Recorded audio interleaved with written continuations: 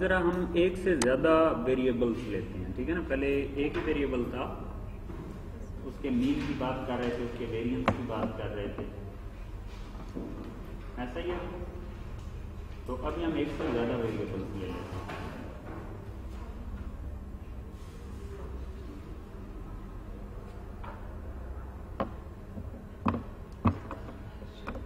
तो सपोज़ हमारे पास डिफरेंट सेट्स ऑफ़ वेरिएबल मैं लेता हूँ। मसलन,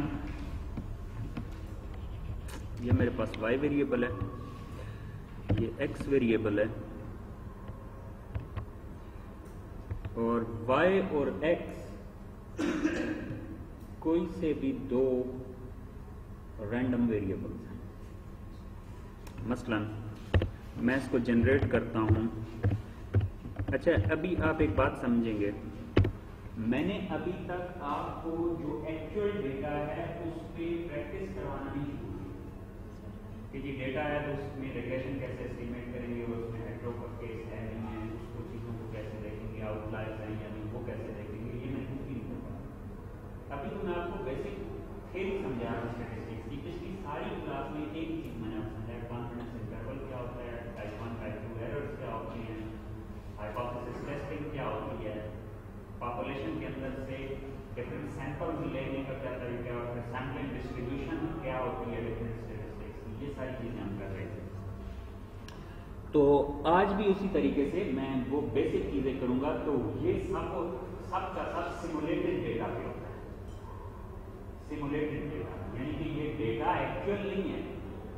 ये मैं डेटा फिर से सिमुलेट करता हूँ। जिस तरह का मुझे एनालिसिस चाहिए होता है, मैं वैसा डेटा बना जब आप रिसर्च कर रहे हैं तो उसमें ऐसा नहीं होगा कि जो रिज़ल्ट चाहिए वैसा डेटा फिर तो जो डेटा होगा अकॉर्डिंगली आपने उसके ऊपर टेक्निक यूज़ करनी है और अकॉर्डिंगली आपने रिज़ल्ट निकालने लेकिन यहाँ ऐसा नहीं है, ये आप तो ये आपने बहुत क्लियर होना है कि कल को आप ये जहन में परेशान होते रहेंगे रिसर्च के वक्त सर तो कुछ सिमुलेट करते थे तो कुछ खुद से नंबर जनरेट करते थे। तो मैं अब वो रिसर्च में कैसे करूँ? आपने ये रिसर्च में ऐसे नहीं करना। ये तो आपको थेरी समझा रहा है। सही है ना? जो आपने रिसर्च में टेक्निक्स यूज़ करने हैं, उनके जो रिजल्ट्स इंटरप्रेट करने हैं, उन रिजल्ट्स की मैं मीनिंग समझा रहा हूँ। तो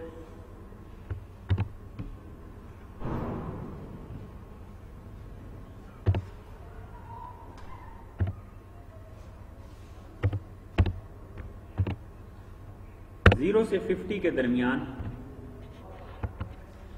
या वन और फिफ्टी के दरमियान मैंने रैंडम नंबर जनरेट किया। क्या आया? फिफ्टी आ गया। लेकिन ये हमेशा फिफ्टी नहीं आएगा।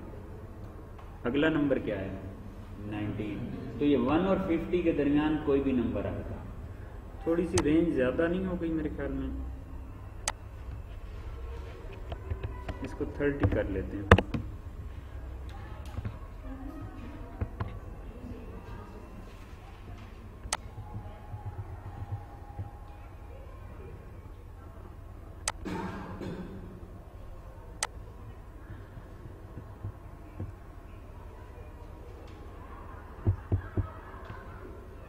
ये मेरे पास कौन से नंबर्स हैं? रैंडम नंबर्स कहाँ से कहाँ तक? वन से थर्टी तक। तो आपको लग रहा है ना कि कहीं ये देखें ट्वेंटी दो दफ़ा आ गया है, तीन दफ़ा आ गया इकट्ठा। लेकिन मैंने पहले भी कहा था कि जब रैंडम नंबर हम इस तरह से जनरेट करते हैं तो इधर मैं डिलीट प्रेस करूँ या इस शीट में और कुछ भी लिखूं, ये नंबर चेंज हो जाएँगे, देखें। और अब कोई नंबर तीन दफ़ा या दो दफ़ा रिपीट नहीं हो रहा। तो ये होता रहेगा, ये डिफरेंट सैंपल्स आप ले सकते हैं। ये सब। इसका मतलब यह है कि वन टू थर्टी हमारी पॉपुलेशन है। वन टू थर्टी हमारी पॉपुलेशन है। और ये जो नंबर है, ये उसमें से एक सैंपल है। अब मैंने इसको डिलीट प्रेस किया, ये दूसरा सैंपल है। फिर से डिलीट किया, ये तीसरा सैंपल है। ये देखें, कितने सैंपल्स निकल रहे हैं इसमें। वन टू थर्टी कितने सैंपल्स निकल सकते हैं, ये मैं आपको वैसे करके दिखा रहा हूँ। लेकिन इन सैंपल्स का कोई अभी रिज़ल्ट हम नहीं नोट कर रहे खैर। अभी के लिए मैं एक दूसरा वेरिएबल एक्स लेता हूँ, जो कि फिर इसी फार्मूले से जस्ट रैंडम नंबर्स जनरेट करता हूँ।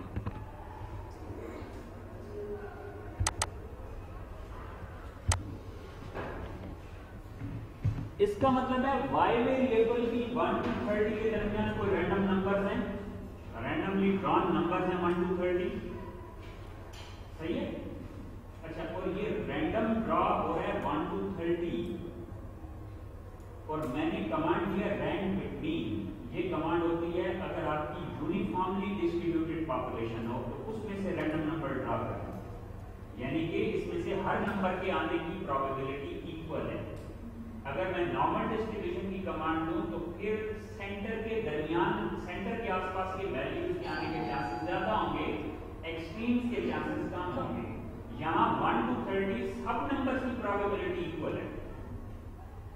समझ आया यूनिफॉर्मली डिस्ट्रीब्यूटेड डेटा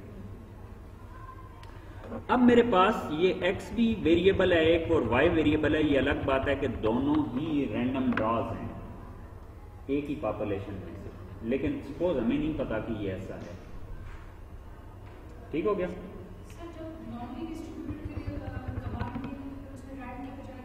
वो अब पिछले दफ़ा भी आया था अभी कई दफ़ा बीच में आएगा। अब मैंने ये आसानी के लिए डिफरेंट कॉन्सेप्ट समझाने के लिए ये सारे काम करूँगा डिफरेंट एग्जांपल्स दूँगा तो मैंने बेसिकली रैंडम नंबर जनरेट किए तो रैंडम नंबर जब आप जनरेट कर रहे हैं दोनों ही रैंडम नंबर हैं दोनों रैंडम सीरीज़ हैं इनका आपस में कोरिलेशन क्या होना चाहिए थ्योरेटिकली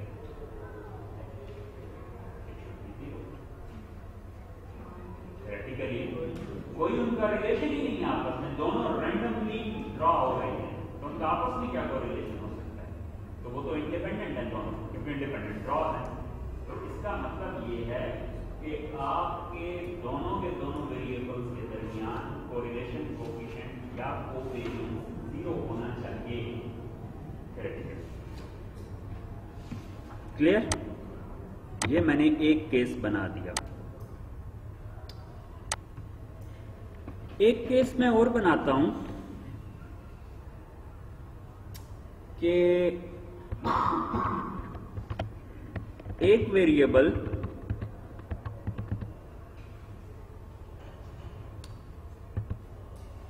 एक्स तो बिल्कुल इसी तरीके से ड्रॉ कर लेता हूँ। लेकिन जो y वेरिएबल है, उसको मैं इस तरह से ड्रॉ करता हूँ कि 2 plus 1.5 multiplied by x.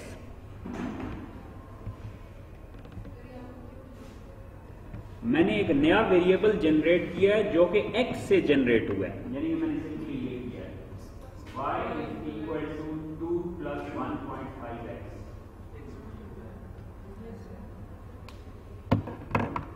x multiplied by this. तो इस तरह y की सीरीज़ आ गई मैं डिफरेंट कॉम्बिनेशन बनाऊँगा, आपको फिर समझाना है कुछ अब एक और कॉम्बिनेशन बनाते हैं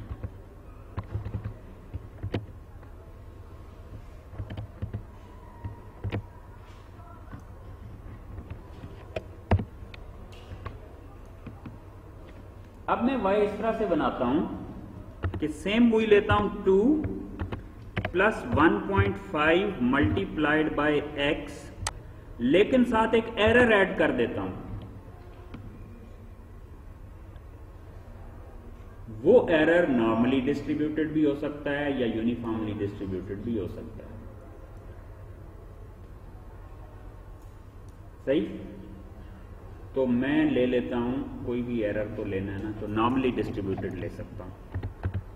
Non inverse rand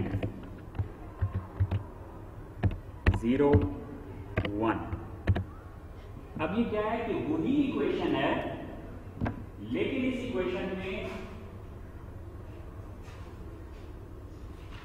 साथ एक एरर ऐड हो क्लियर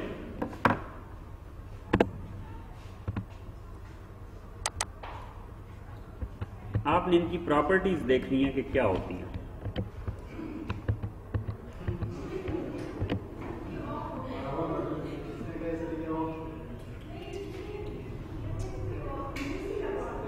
किसने कहा है?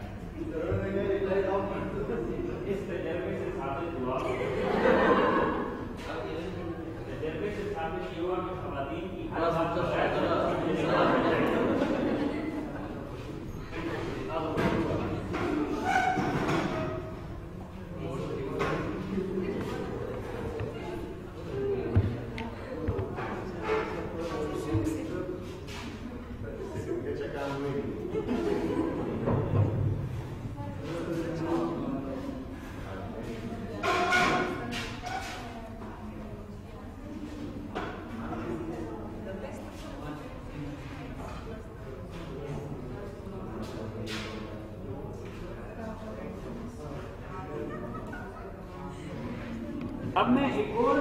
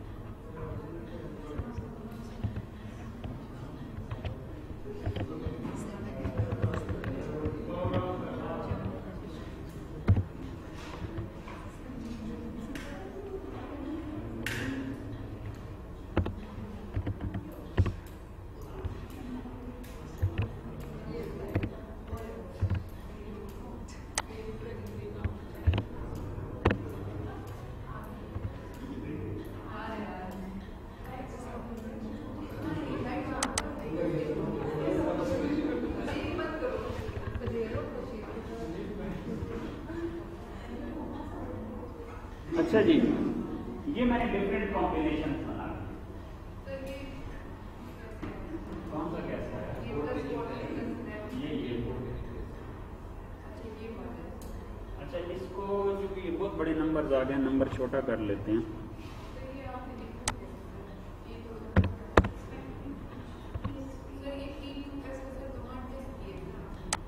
ये आ तो रही है ई एक्स पी ब्रैकेट में लिखेंगे जो ऊपर लिखा हुआ है टू एक्स या point two X point two X जी, बिल्कुल, ब्रैकेट में। अब ये मेरे पास डिफरेंट कॉम्बिनेशन आ गए और इन कॉम्बिनेशन का मैं यहाँ निकालता हूँ कोरिलेशन कोफिशिएंट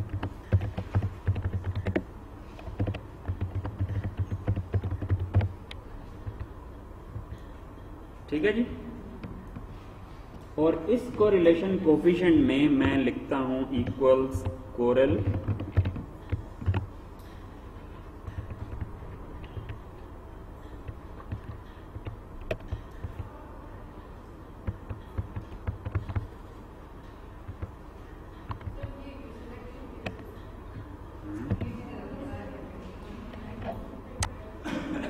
शिफ्ट कंट्रोल और ये एरो कंट्रोल और डाउन की एंटर लें जी कोरिलेशन कोफिशिएंट क्या आया? 0.03 which is close to zero तो आना चाहिए भी था। क्यों? बोथ वेरिएबल्स आर इंडिपेंडेंट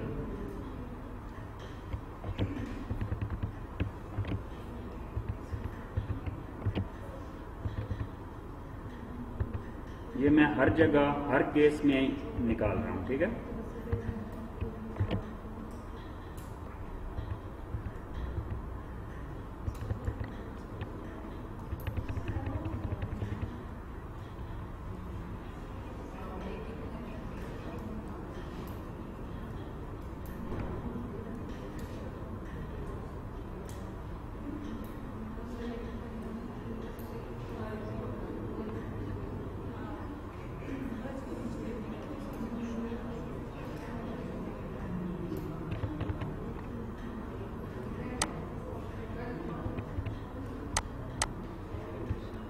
ठीक है जी?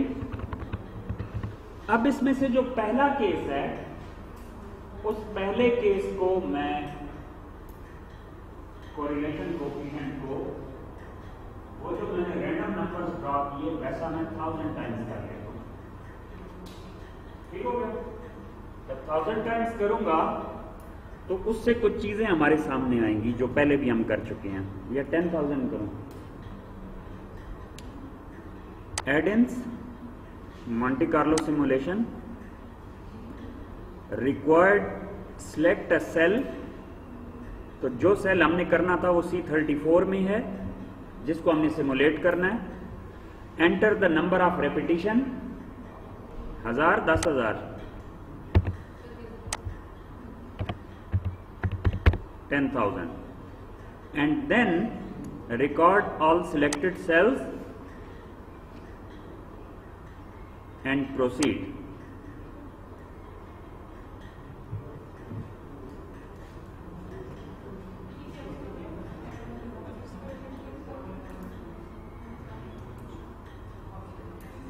ये ये बता रहा है कि कितने सैंपल उसने ड्रा कर लिए हैं।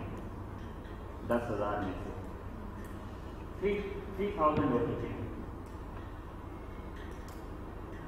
क्योंकि वेरिएबल दो हो गए ना तो इसको थोड़ी मुश्किल पेश आ रही है। लास्ट क्लास में तो यूँ करता था। क्यों? वो एक वेरिएबल अब ये दोनों को अलग अलग ड्रॉ करते हैं आज के बाद एक हज़ार का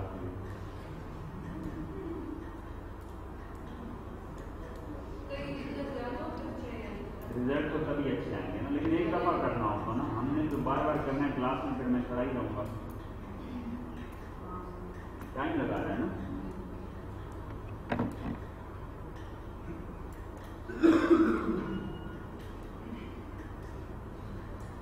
डेटा यूनिफॉर्मली डिस्ट्रीब्यूटेड है ये याद रखना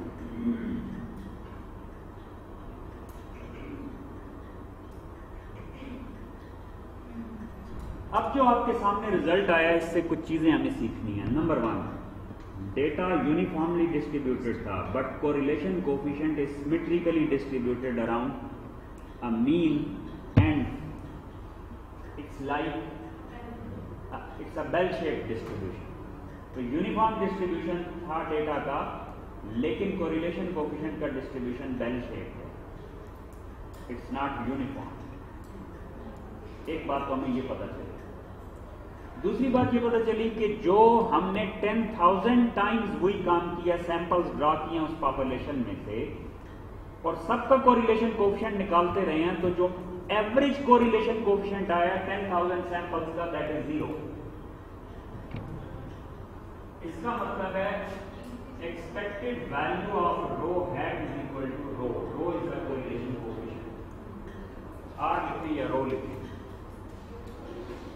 तो इसका मतलब है सारे कोरिलेशन कोएफिशिएंट क्योंकि जो पॉपुलेशन थी वो रैंडम नंबर्स की थी तो theoretically their correlation coefficient should be zero तो इसका मतलब है ऑन एवरेज वही रिज़ल्ट है जो पॉपुलेशन के अंदर था ज़ीरो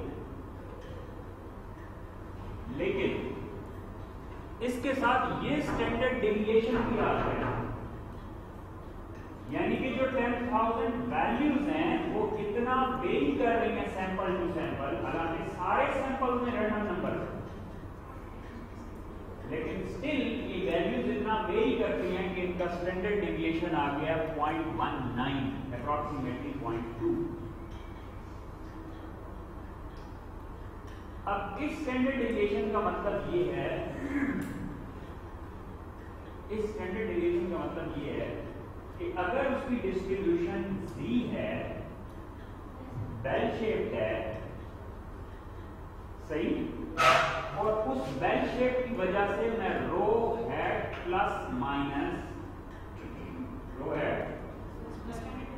प्लस माइनस वैसे तो इसका पॉपुलेशन नॉन है हमने कुछ नंबर जनरेट किए हैं तो मैं जी डिस्ट्रीब्यूशन बना सकता हूँ। लेकिन चूँकि मेरा सैंपल साइज़ थर्टी है तो मैं टी लिखूँ या डी लिखूँ फ़र्क नहीं है ऐसा तो मैं इसको अगर t alpha by two standard error of rho add कर दूँ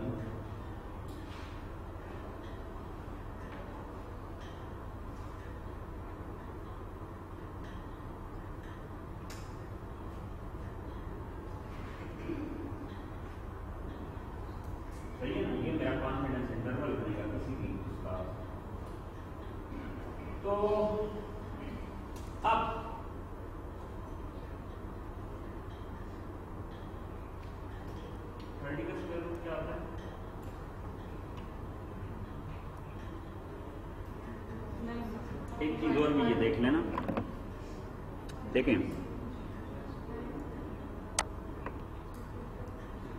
अगर मैं लिखूं one divided by square root of thirty,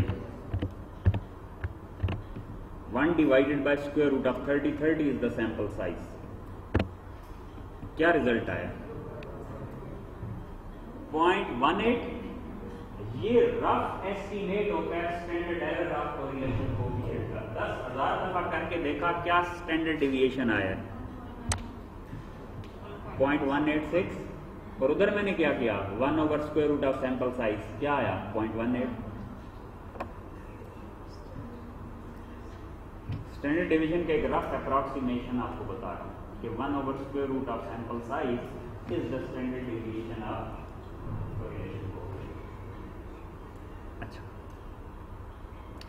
दो बातें समझ आ गई कि ये वेरी कितना कर रहा है, इसकी एवरेज वैल्यू कितनी है।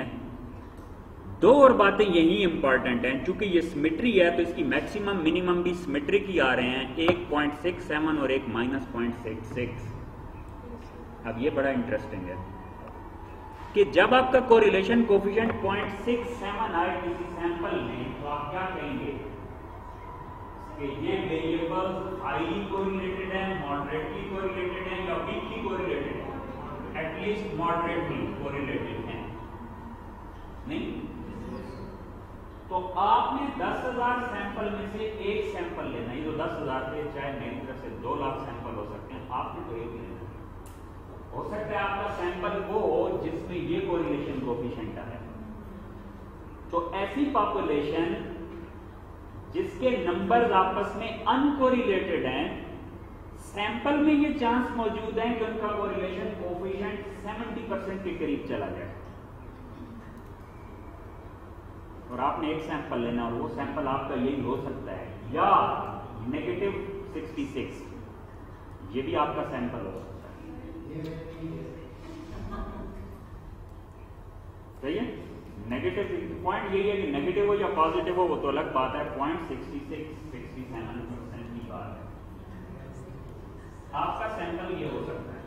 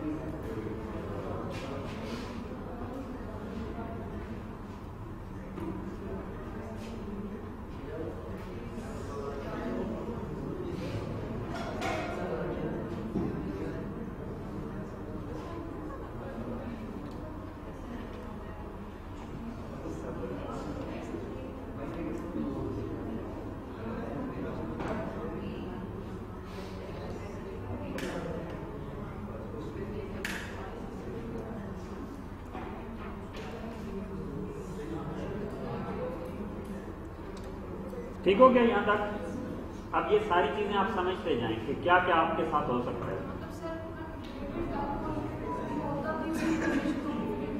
कितना हाई आ सकता है? मैंने आपके सामने लिया डेटा ठीक है? आगे चले मजीद। ये हमारे पास वो 10,000 वैल्यूज़ आ गई हैं कोरिलेशन कोफिशिएंट की। ओरिजिनल मैं साइड पे रखता हूँ और बाकी सबको मैं यहाँ पे पेस्ट कर देता हूँ।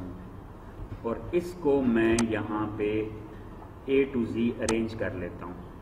तो ये देखें मिनिमम वैल्यू और ये देखें इसकी मैक्सिमम वैल्यू और मैक्सिमम वैल्यू में आप देखें कितने सैंपल्स हैं जो 50 प्लस कोरिलेशन बता रहे हैं। ये कोई एक दो सैंपल्स नहीं है। These are more than 30 samples जो 50 प्लस बता रहे हैं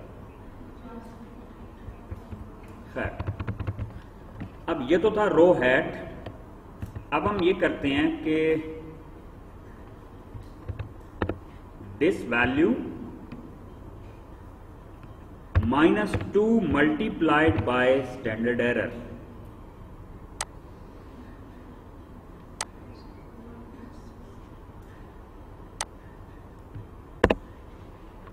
और यहाँ पे मैं कर लेता हूँ।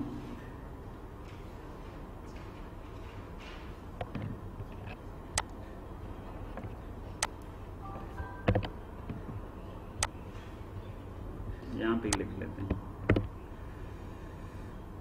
ये स्टैंडर्ड डिविएशन आया, या स्टैंडर्ड एरर है इसका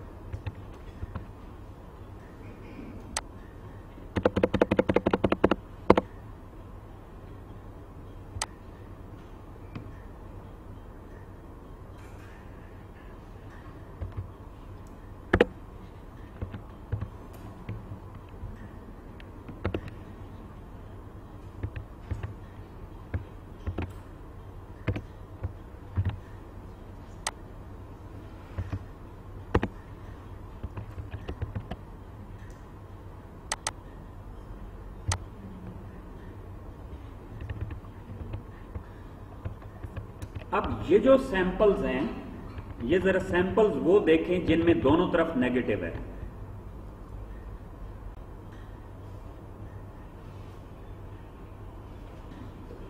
ये वो सैंपल्स हैं जिनमें दोनों साइड्स पे नेगेटिव है। ये तो रुक ही नहीं रहा। ये कैसा वो है? यहाँ तक मैं लेता हूँ। ये ये सैंपल्स वो हैं जिनकी दोनों साइड पे नेगेटिव है। और ये कितने सैंपल्स हैं? ये 221 सैंपल है। 221 सैंपल्स ऐसे आए हैं जो नेगेटिव साइड से ज़ीरो को कंटेन ही नहीं करते। ठीक हो क्या और आगे चलें। अब ये वो वैल्यूज़ निकालें जो दोनों साइड पे पॉजिटिव हैं।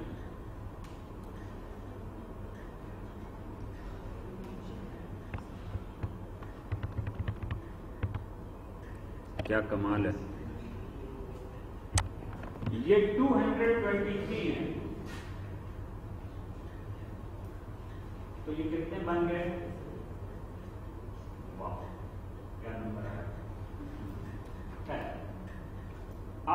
10,000 approximately 500 ton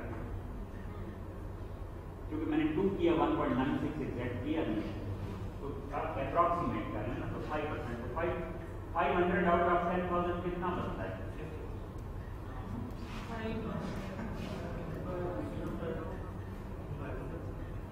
five percent five percent इसका मतलब है फाइव परसेंट ऐसे सैंपल्स हैं, पाँच सौ ऐसे सैंपल्स ड्रा हुए हैं टेन थाउज़ेंड में से,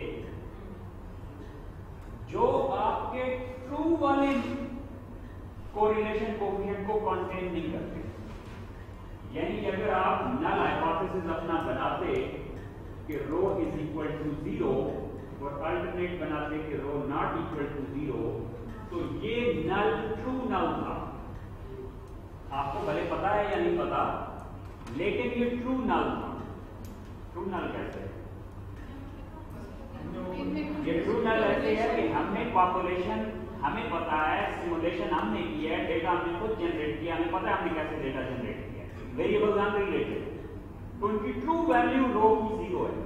सो नल इज़ ट्रू तो स्टिल 5 परसेंट के करीब सैंपल्स या 500 के करीब ऐसे सैंपल्स आए हैं जो आपके ट्रू नल को भी रिजेक्ट कर रहे हैं। सही? तो इसका मतलब ये है कि point zero four or four point four percent is the probability of committing type type one कैसे कि आपके 500 सैंपल ऐसे पड़े हैं हालाँकि आपको पता है आपने किसी को एक सैंपल देंगे तो 500 कोई कम नंबर नहीं है। पाँच सौ सैंपल ऐसे पड़े हैं या साढ़े चार सौ ऐसे सैंपल पड़े हैं कि अगर उनमें से आपका एक होता तो आप ट्रू नल को रिजेक्ट करके बैठ जाते?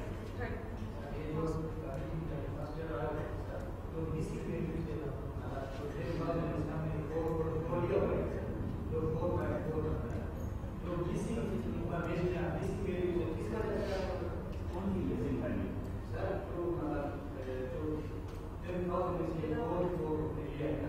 बाकी सब में से कोई सैंपल आपने लिया होता तो आप इस नल को एक्सेप्ट करते।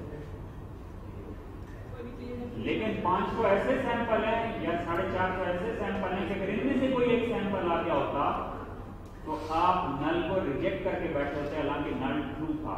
इसका मतलब ये है कि जब भी आपका कोरिलेशन कोएफिशिएंट आता है, अब इसका मतलब समझें।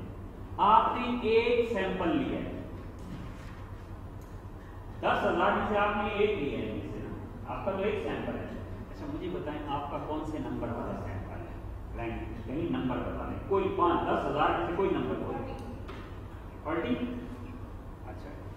फोर्टी वैसे बहुत ही छोटा नंबर बोल दिया, लेकिन बारह। मैं कह रहा हूँ फोर्टी छोटा है, आप कह रही हैं, टेन। सुने सुने सुने सुने। इसकी जरा इंटरप्रिटेशन समझें। ये वो सैंपल है जो हमने सिलेक्ट किया है एक्चुअल ये नहीं कि दस हज़ार में से ये। हमने एक ही करना था सपोज़ ये हो गया।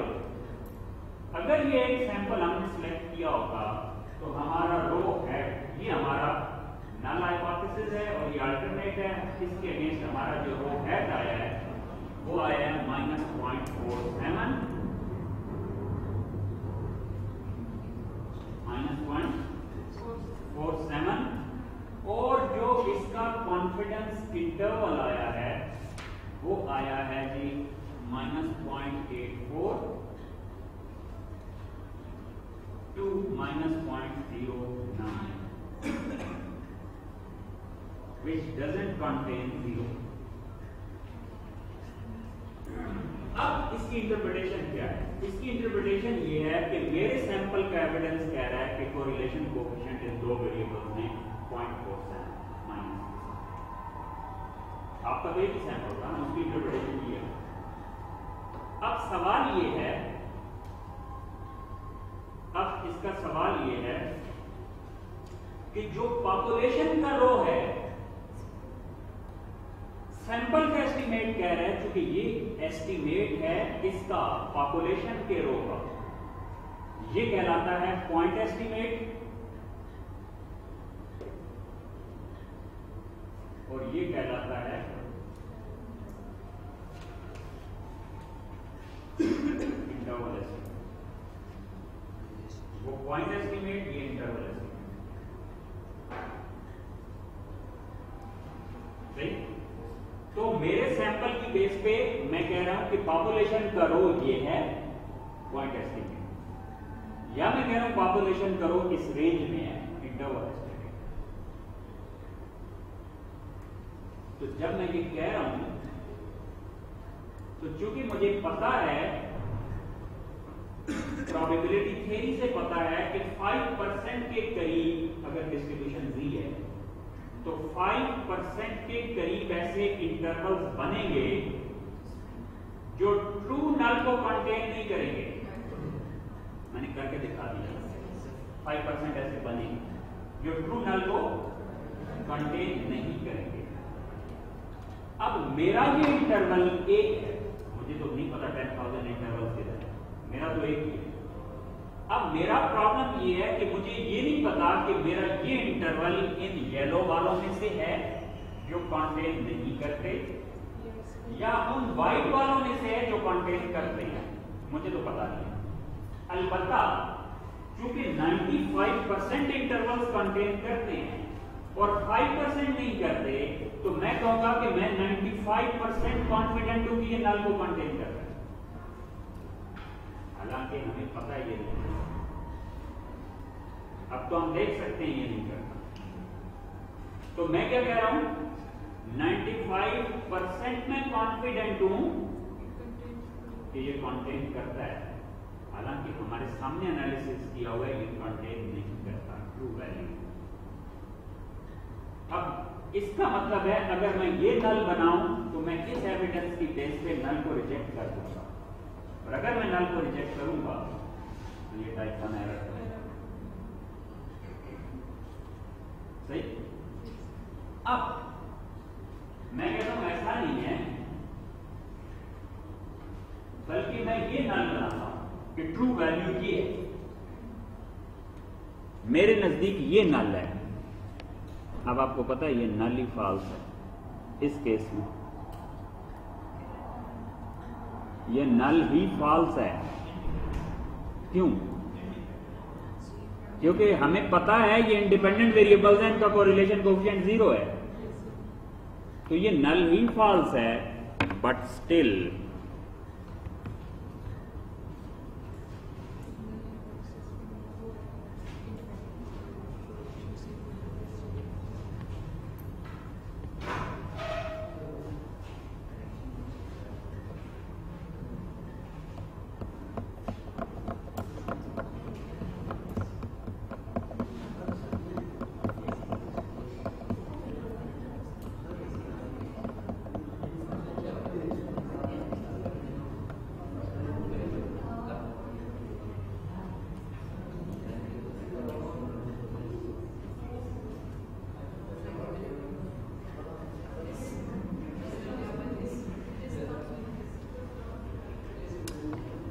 यार, ये तो टेन थाउज़ेंड करके परेशानी होगी इसमें वो की भी नहीं है।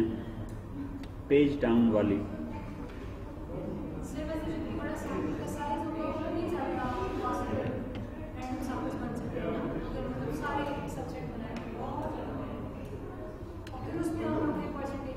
वो निकलेगी ऐसी। टेन थाउज़ेंड बड़ा सफिशिएंट नंबर है।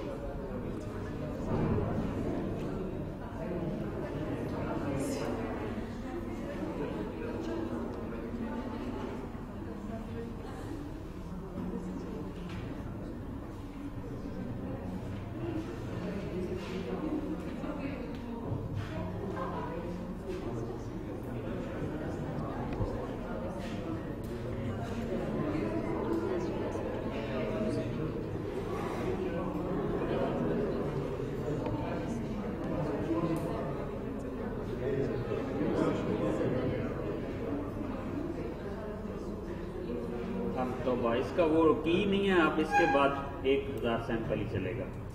नहीं तो कर करके थक गया हूँ मैं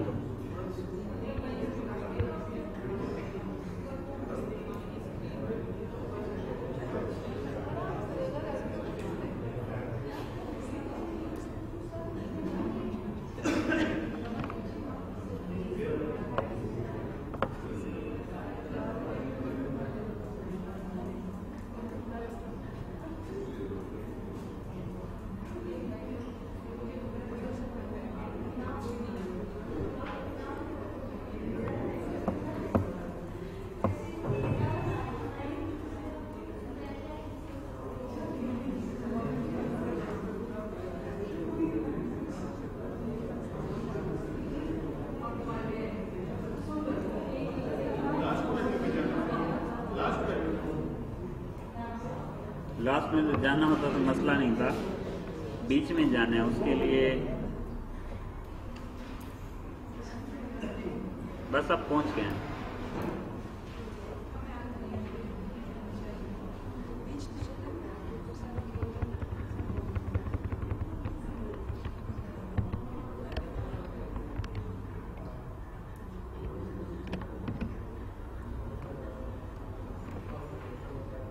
लें जी ये जो अब मैंने सैंपल सिलेक्ट किए हैं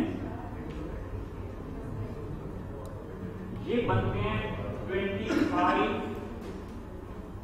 hundred thirty two sample ये ऐसे सैंपल्स आए हैं जो इस नल को एक्सेप्ट कर रहे हैं हमने एक रॉन्ग नल स्पेसिफाई किया और 2500 सैंपल्स का एविडेंस लिया कि ये ठीक है इस पर एक्सेप्ट कर रिजेक्ट नहीं कर सकते कौन सा एरर और आप इनमें से आपका सैंपल इनमें से एक हो सकता है ठीक है लेकिन याद रखना कि टाइप टू एरर डिपेंड करता है इस चीज़ पे कि आपकी वैल्यू, हाइपोथेसाइज वैल्यू और ट्रू वैल्यू कितनी दूर है आपस में। क्योंकि मैं अगर ये वैल्यू बदल दू पॉइंट फाइव की जगह पॉइंट सिक्स कर दूँ पॉइंट सिक्स कर दूँ तो ये और कम रह जाएँगे यानी कि जितना जितना आपका ट्रू नल और आपका नल जो आपने किया यानी कि ट्रू वैल्यू और नल वैल्यू जितनी जितनी दूर होती जाएँगी टाइप टू एरर के चांसेस कम होते जाएँगे और जितना जितना ट्रू वैल्यू और हाइपोथेसाइज वैल्यू करीब होते जाएँगे, उतनी ही, उतने ही चांसेस टाइप टू एरर के बढ़ते जाएँगे। तो चूँकि ट्रू वैल्यू ज़ीरो थी, हमने नल पॉइंट फाइव रख दिया तो इस केस में हमारा 25 परसेंट टाइप टू एरर की प्रोबेबिलिटी बन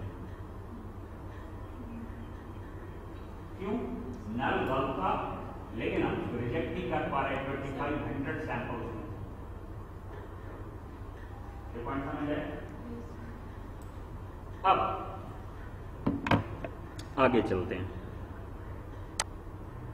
ये काम तो हो गया। नेक्स्ट है, ये कोरिलेशन कोफिशिएंट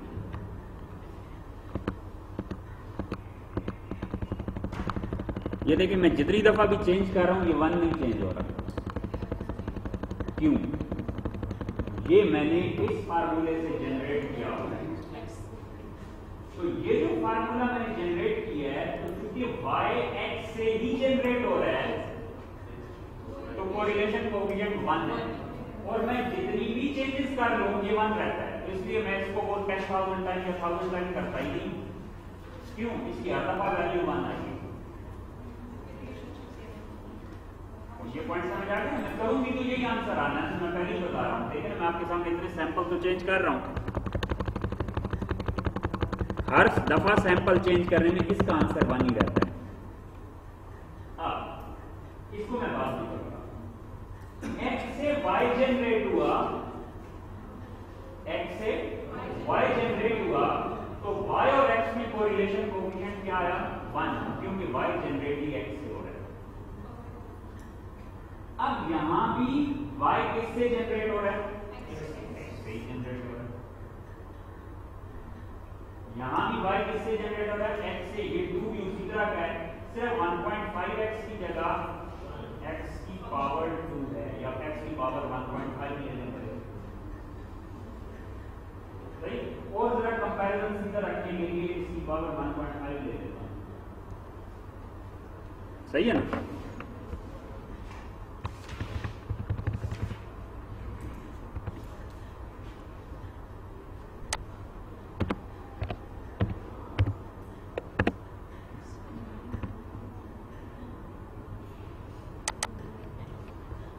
वहाँ x, y y x से जनरेट हुआ तो कोरिलेशन कोफिशिएंट क्या आया? वन और जितने भी सैंपल्स चेंज करें, क्या रहता है? अब देखें।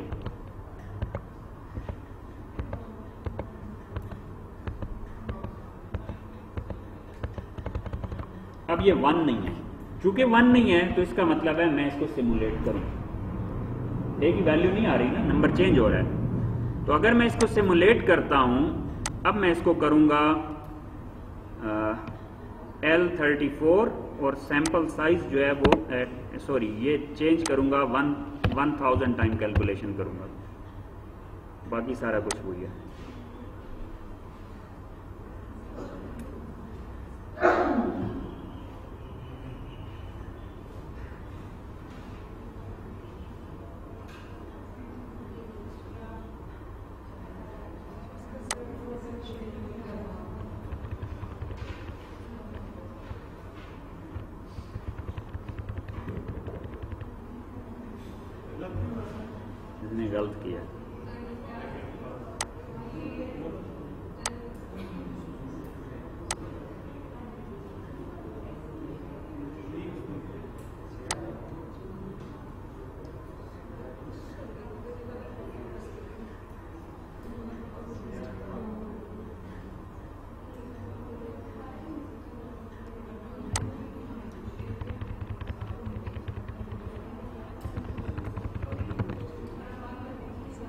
इसका ये एवरेज कोरिलेशन कोफिशिएंट आया है और ये इसकी मैक्सिमम और मिनिमम वैल्यूज़ आई हैं। और वो मैक्सिमम और मिनिमम वैल्यूज़ में आप देखें तो गैप बहुत कम है। क्योंकि x डायरेक्टली जनरेट हो रहा है सॉरी y डायरेक्टली जनरेट हो रहा है x से इसलिए ये गैप बहुत बड़ा नहीं है। वो चूँकि डिपेंडेंट नंबर से डिपेंडेंट नंबर में कुछ भी पॉसिबिलिटीज बन रही तो उस केस में कोरिलेशन कोएफिशिएंट के एस्टिमेट्स इम्प्रिसाइज थे या प्रिसाइज थे क्यों इसका स्टैंडर्ड डिविएशन बहुत ही छोटा है? अब एक चीज़ और मैं करता हूँ। वो ये है कि ये लास्ट वाला। ये। ठीक है? अब y किससे जनरेट हो रहा है? अभी भी एक्स से जनरेट पॉइंट ये है कि यहाँ भी y x से जनरेट होता है, यहाँ भी y x से जनरेट होता है, यहाँ भी y x से जनरेट होता है। हर जगह ही y किससे जनरेट हो रहा है? एक्स से। अब इसको अगर मैं सिमुलेट करता हूँ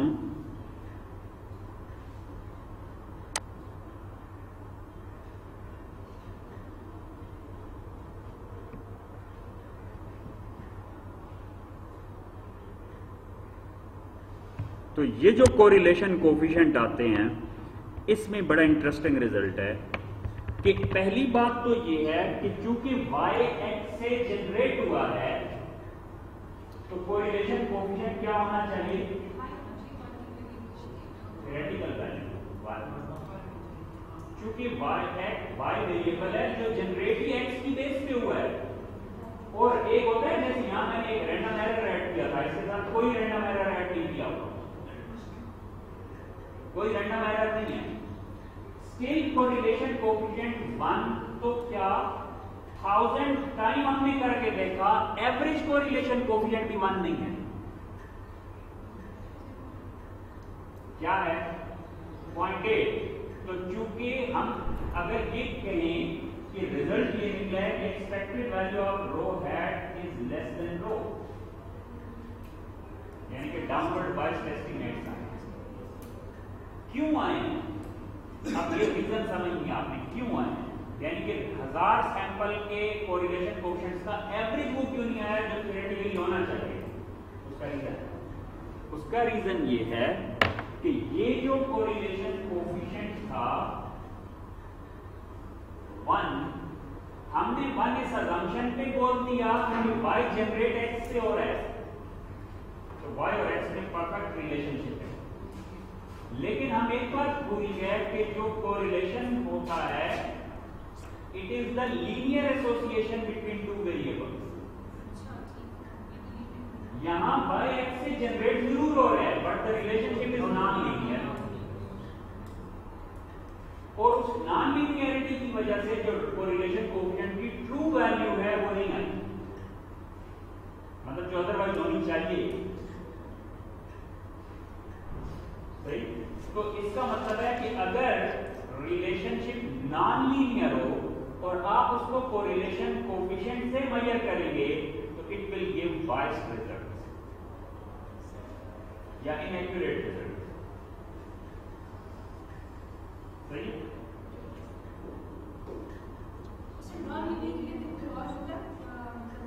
रेग्रेशन में तो कर सकते हैं।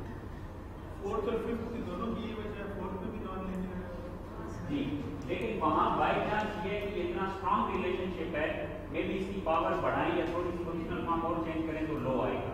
लेकिन वन वहाँ भी नहीं आया। लेकिन वहाँ गैप थोड़ा सा या ज़्यादा हो गया पॉइंट एट लेकिन पॉइंट आपको जो समझाना था वो आपको क्लियर हो जाना चाहिए। क्यों? कर रहे हैं। लेकिन जो मेजर आप यूज़ कर रहे हैं वो सिर्फ़ लीनियर डिपेंडेंस को लेता है। यही तो आपको पॉइंट समझना है।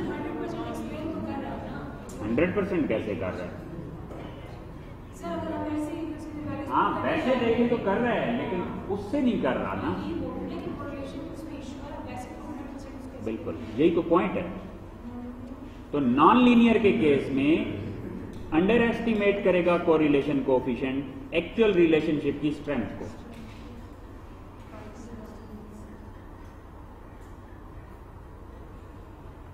ठीक है?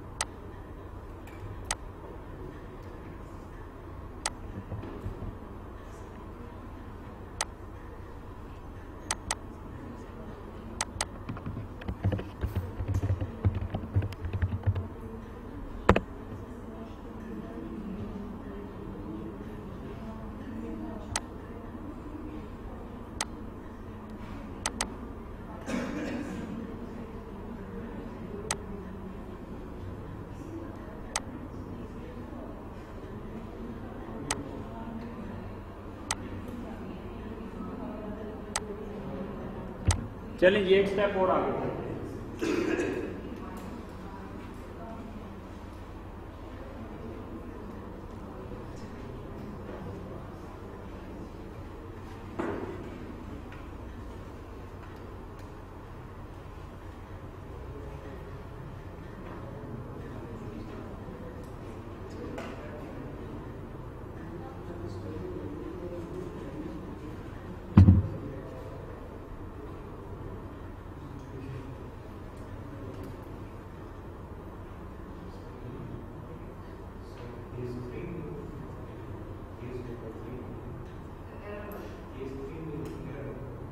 उसमें करते तो एरर की वजह से थोड़ा तो रिलेटिव कोएफिशिएंट कम हो जाता पॉइंट नाइन से समथिंग आ जाता सही है ना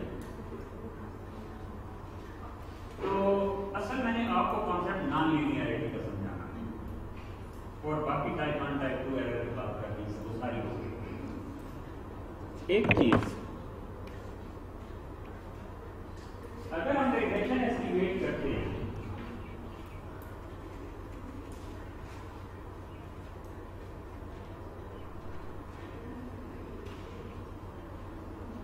यही हम लिखते हैं ना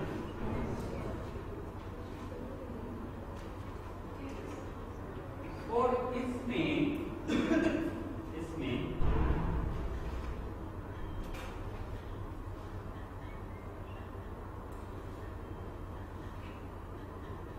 suppose हम इस तरह पढ़ते हैं कि ये x है ये y है अब आपको समझ आ रही है कि मैं अभी थ्योरी समझा रहा हूँ। मैं प्रैक्टिकल कर रहा ये जो मैं गेट कर रहा हूँ कंप्यूटर पे it's not application rather it is theory ये तो थ्योरी समझा रहा हूँ। एप्लीकेशन तो ये होती है कि मैं एक सैंपल लेता एक्चुअल में, और उसके ऊपर ये हाइपोथेसिस वाले, ये वो सारी चीज़ें उसको टेस्ट करता सैंपल की बेस पे। नहीं यहाँ तो ऐसा कुछ नहीं है तो सब तरह गौर करें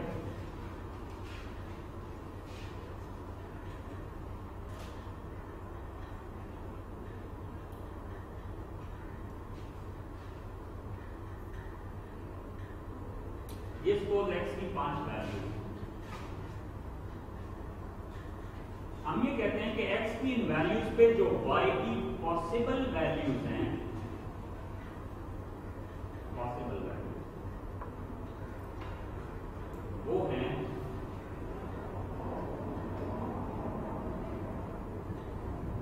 सपोज़ ये वन है ये टू है ये थ्री है ये फोर है ये फाइव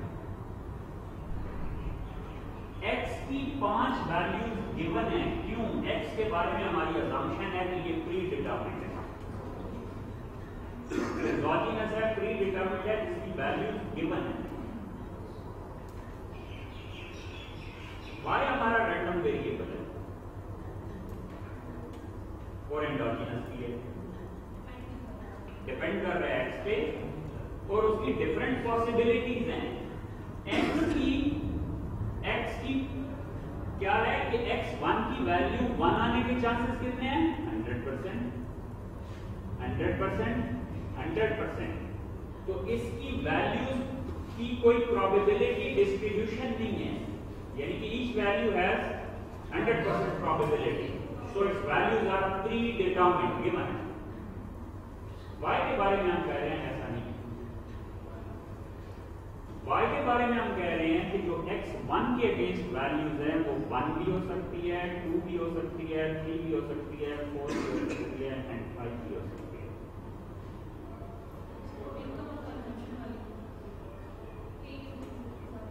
इनमें से कोई एक है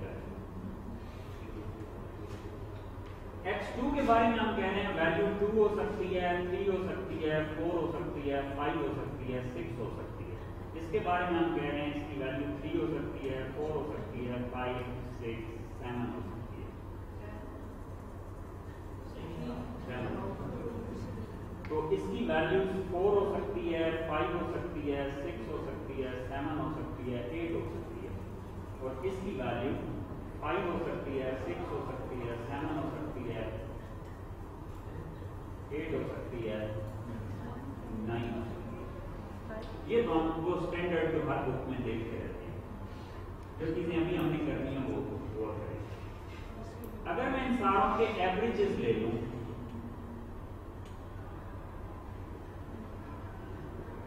अच्छा बाय द वे ये किसकी वैल्यूज़ हैं? पाँच? ये बाय वन की है। ये बाय टू की है। ये बाय थ्री की है। ये बाय फोर की है। ये बाय फाइव ये क्या है? This is expected value of i one expected value of i two expected value of y three expected value of y four and expected value of y five ये उनकी expected value clear इन expected values को अगर मैं join कर दूँ तो एक स्ट्रेट लाइन बन रही है या स्ट्रेट लाइन ना भी बने कोई ज़रूरत नहीं है ये एक लाइन बनी। अब चूँकि अगर मैं एग्जैक्ट बनाता तो ये लाइन टाइप है तो लाइन का कोई ना कोई इंटरसेप्ट है। उस इंटरसेप्ट को मैं कह रहा हूँ ये अल्फ़ा है और इस लाइन की जो स्लोप है वो बीटा है। तो इस लाइन की इक्वेशन लिख सकते हैं? इक्वेशन आप लाइन एक नहीं। इस इक्वेशन ऑफ़ लाइन लिखेंगे एक्सपेक्टेड वैल्यू क्योंकि देखिए इसका एक्सपेक्टेड वैल्यू मिल रही this is expected value of y i given x i, क्योंकि x i given है। x की हर वैल्यू गिवन यानी कि x की फ़र्स्ट जो वैल्यू गिवन है, उसके against expected value of y ये है, इसकी सेकंड वैल्यू के अगेंस्ट एक्सपेक्टेड वैल्यू ये है थर्ड क्योंकि एक्सपेक्टेड वैल्यू डिपेंड करती है कि x की कौन सी वैल्यू है इसलिए मैंने लिखा it is conditional on x और लाइन की इक्वेशन बनेगी alpha plus beta into x i तो ये क्या कहलाती है? This is called population regression line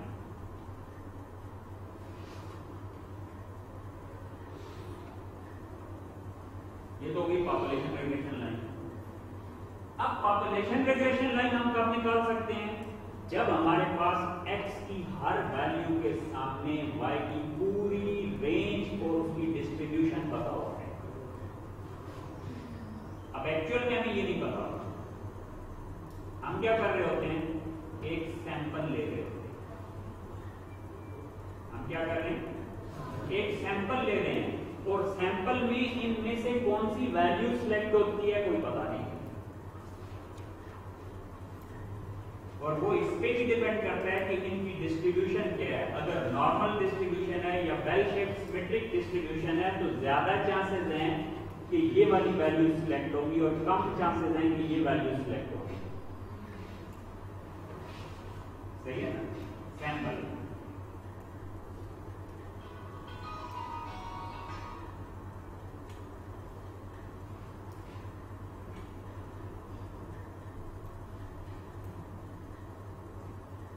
bye the वे इसका ये वैल्यू क्या है? Expected value of y one जिस तरह मैंने वैल्यूज़ ली हैं one two three four five तो पहली वैल्यू आई है थ्री अगली value four five six seven ये इस तरह से जुड़ा है। एवरेज वैल्यू का तो इसका मतलब है four minus three over three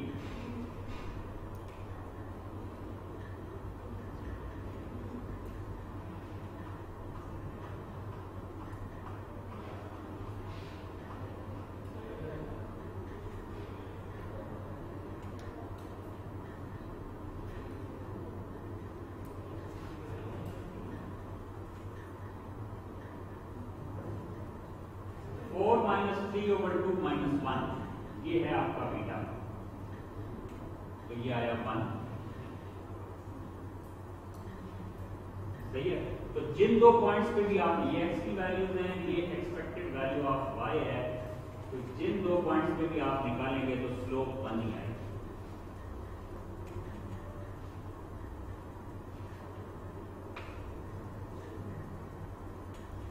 और किसी पॉइंट पे मैं ले लेता हूँ, मसलन y2 ले लूँ is equal to alpha plus beta की जगह 1 और x की जगह x2 आएगा। तो एक्सपेक्टेड वैल्यू ऑफ़ y2 क्या है? 4 माइनस x2 क्या है? 2 तो अल्फ़ा क्या हुआ 2 तो यहाँ अल्फ़ा 2 है, इस पर्टिकुलर केस में जो मैंने बनाया है, जबकि बीटा क्या है?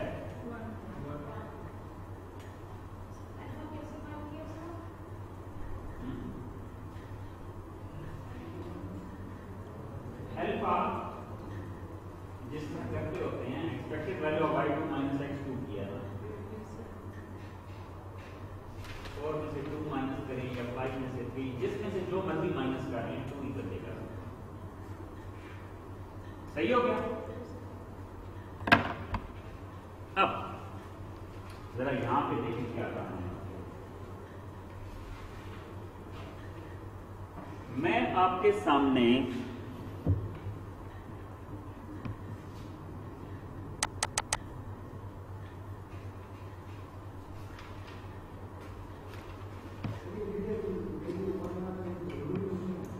नहीं ये तो मैंने जो वैल्यूज़ ली हैं उसमें ले रहा हूँ। अब अब मेरे पास एक एक्स है और एक वेरिएबल है वाई एक वेरिएबल एक्स और दूसरा वेरिएबल वाई एक्स की वैल्यूज़ मैं ले लेता हूँ वन टू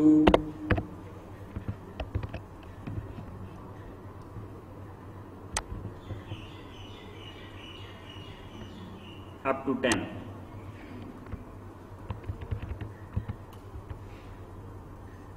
क्या ले लेता हूँ? X की वैल्यूज़ वन टू टेन वहाँ फाइव तक लिखी हुई है ना तो मैंने टेन तक कर लिया, कोई रीजनेबल एस्टिमेट अब क्वेश्चन ये है कि ये जो मैंने वैल्यूज़ ली हैं इन वैल्यूज़ को डिस्ट्रीब्यूशन क्या असूम करूँ? क्योंकि हम जो स्टैंडर्ड चलता है हमारा थ्योरी में वो नॉर्मल डिस्ट्रीब्यूशन है। ऐसा ही है ना? नॉर्मल डिस्ट्रीब्यूशन तो ये जो इसकी वैल्यूज़ हैं, इसका वेरियंस क्या बनेगा the way one two three four five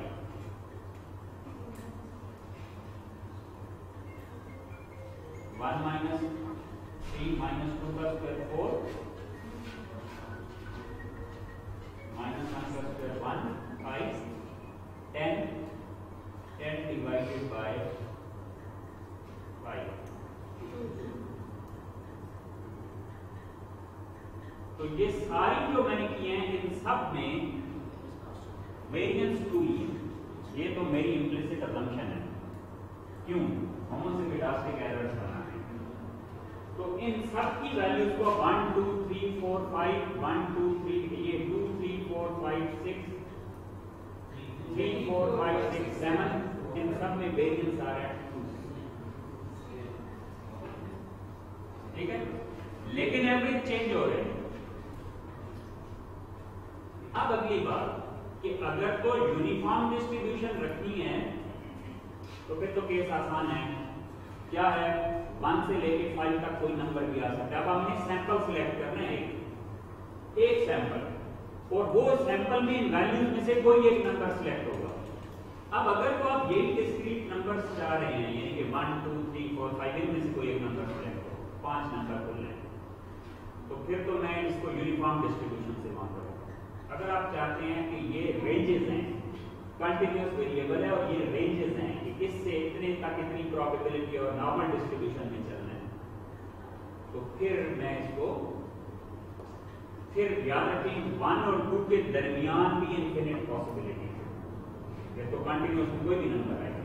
हाँ ये ज़रूर है कि नॉर्मल डिस्ट्रीब्यूशन में ज़्यादा नंबर इस रेंज में आएँगे और कम नंबर इस रेंज में आएँगे। अब आप क्या चाहते हैं नॉर्मल से चलो जो स्टैंडर्ड प्रैक्टिस है।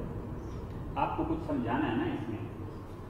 तो अगर मैं उससे चलता हूँ तो इसका मतलब यह है कि मेरा पहला जो y है, अब मैं सैंपल ले रहा हूँ पॉपुलेशन नहीं लेकिन ये सैंपल जो मैं लूँगा, एक पॉपुलेशन से लेना है, और पॉपुलेशन की कैरेक्टरिस्टिक ये है कि उसकी वैल्यूज़ का एवरेज थ्री है, और वेरियंस टू है और डिस्ट्रीब्यूशन नॉर्मल है। ये प्रॉपर्टीज़ हैं पॉपुलेशन मैं अब कहूँगा एक्सेल को कि फ़र्स्ट वैल्यू ऑफ़ एक्स के अगेंस्ट वाई की एक वैल्यू सिलेक्ट करे और वाई की पॉपुलेशन ये है कि थ्री उसका एवरेज है टू उसका वेरियंस है और नॉर्मली डिस्ट्रीब्यूटेड पॉपुलेशन है। उसमें से एक सैंपल सिलेक्ट करे। यानी कि इन्फिनिट वैल्यूज़ हैं, उनमें से एक वैल्यू सिलेक्ट कर लेते हैं। कैसे करें? नॉम इनवर्स रैंड नॉम इनवर्स रैंड बताएँ जी मीन क्या है? थ्री है। और स्टैंडर्ड डिविएशन क्या है? स्क्वायर रूट ऑफ़ टू यही है। ये क्या करेगा? एक नंबर सिलेक्ट करेगा उस रेंज में से जो मैंने उधर दी हुई है। वो ये नंबर है। ठीक हो गया? मैंने अब सैंपल ले रहा हूँ ना तो सैंपल में तो कोई एक नंबर इस पूरी रेंज में से सिलेक्ट हो रहा वो मैंने सिलेक्ट कर लिया अब मैं क्या कर रहा हूँ? टेन टाइम्स यही कर रहा हूँ, लेकिन हर दफ़ा एवरेज बदल रहा है। पहले थ्री था, फिर कितना हो गया? बोले। फोर फिर क्या हो गया? नेक्स्ट फाइव फिर six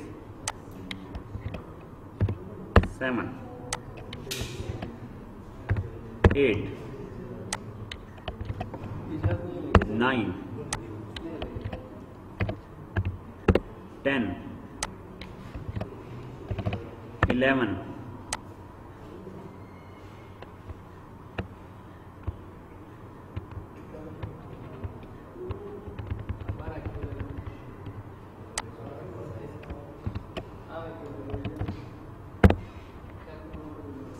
ले जी ये मेरा सैंपल है। सैंपल मैंने कैसे सिलेक्ट किया ये जो सारी रेंजेस गिवन थी इनमें कोई एक नंबर सिलेक्ट करता गया लेकिन नंबर सिलेक्ट करने से पहले डिस्ट्रीब्यूशन इंपॉर्टेंट है। क्योंकि अगर डिस्ट्रीब्यूशन नॉर्मल है तो मीन के करीब वैल्यू सेलेक्ट होने के चांसेस ज़्यादा है। अगर यूनिफॉर्म डिस्ट्रीब्यूशन है तो करीब दूर सबकी वैल्यू सिलेक्ट होने के एक जितने चांसेस So ये हमें नॉर्मल वाला है लेकिन ये मेरे पास एक सैंपल आ गया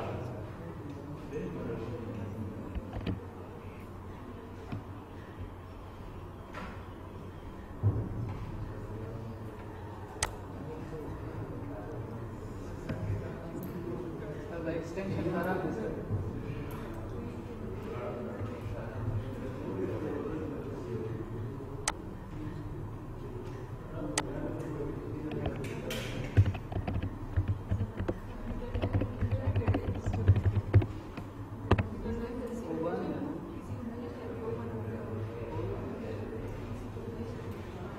देखिए ये जो अप्रोच है ना ये और चीज़ है मैं आपको क्या करवा रहा हूँ आप हमेशा पढ़ते थे रेट्रोसिपिडास्टिसिटी के केस में एस्टिमेटेड एनर्जी कंट्रोल है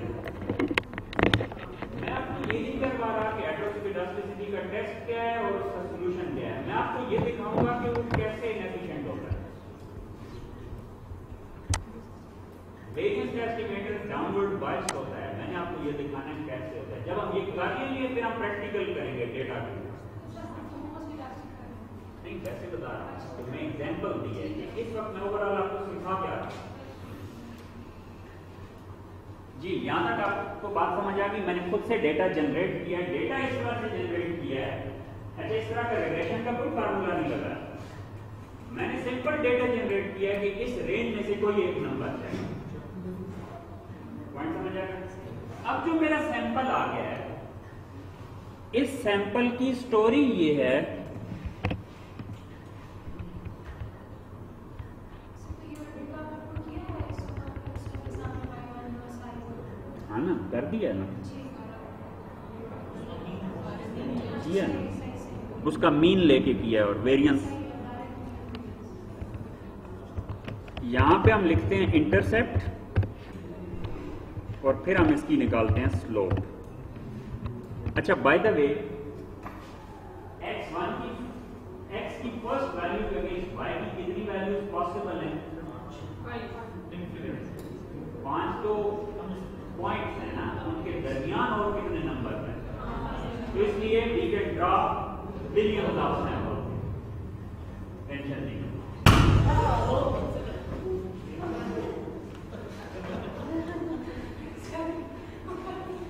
यार धमाके ना करो पहली पेशावर में बड़ा डर लगता है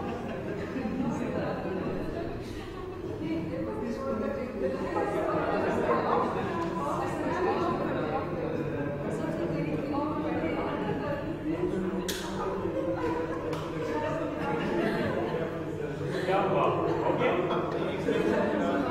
एक्सटेंशन शार्ट है शॉर्ट है ना लगा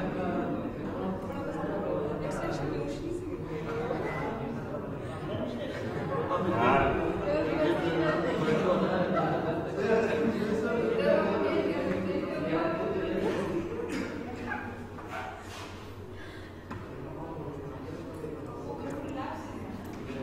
Switch die Straße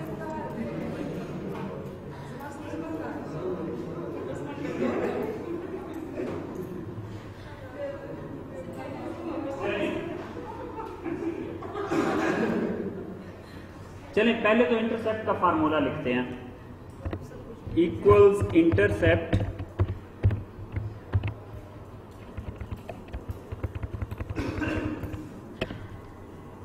comma y पहले सिलेक्ट करना है, फिर कॉमा करके x सिलेक्ट करना है।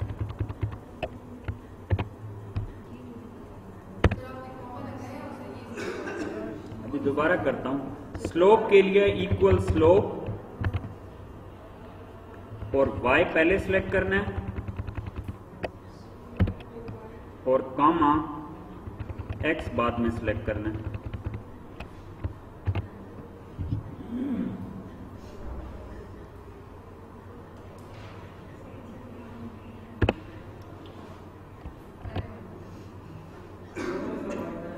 हैं? पहले y सिलेक्ट करना है फिर कॉमा हमेशा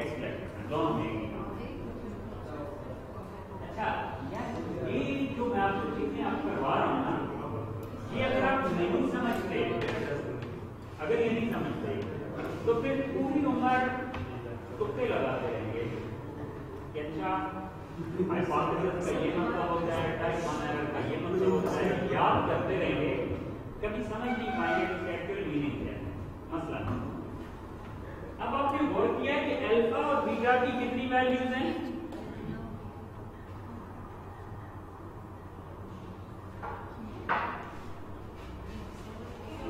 हो गया मसला हाँ? इनके लिए तालियाँ यार इसने मेरे सर की पेंसिल लेके नहीं जा रहा अच्छा सुने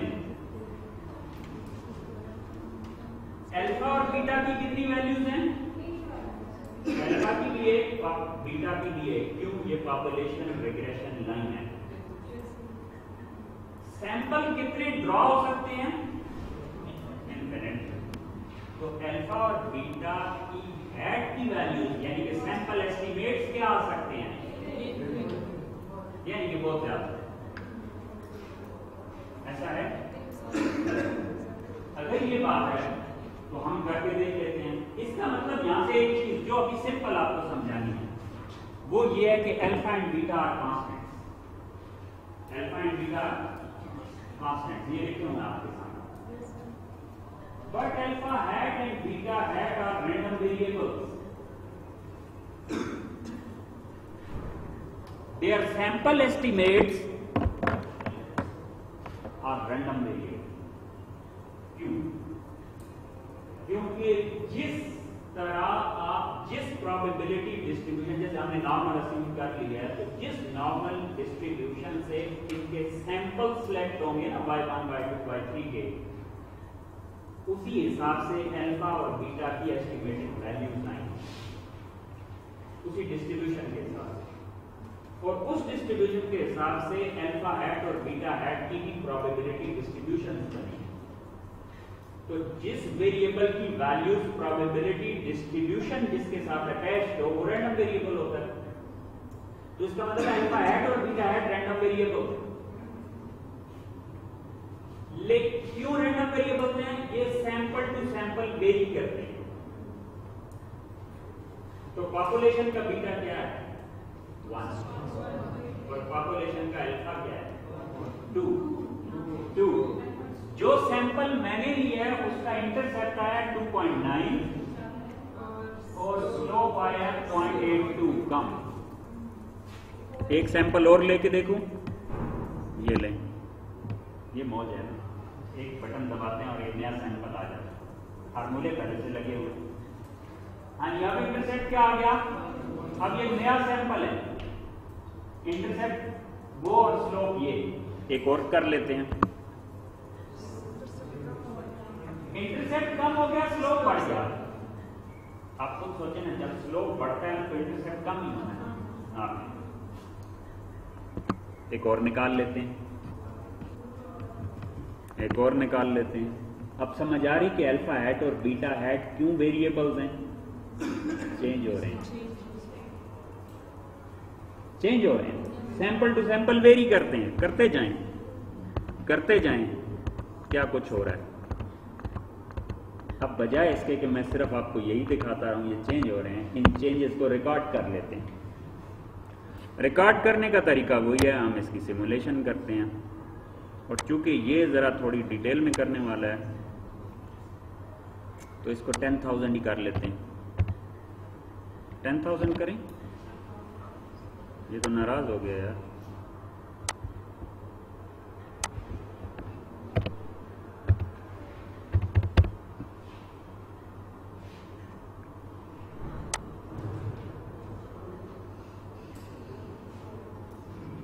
ये हमारा select second cell second cell हम इंटरसेप्ट करते हैं। हमारा मेन कंसर्न स्लोप से है, लेकिन सेकंड सेल के तौर पे हमने इंटरसेप्ट को भी ले लिया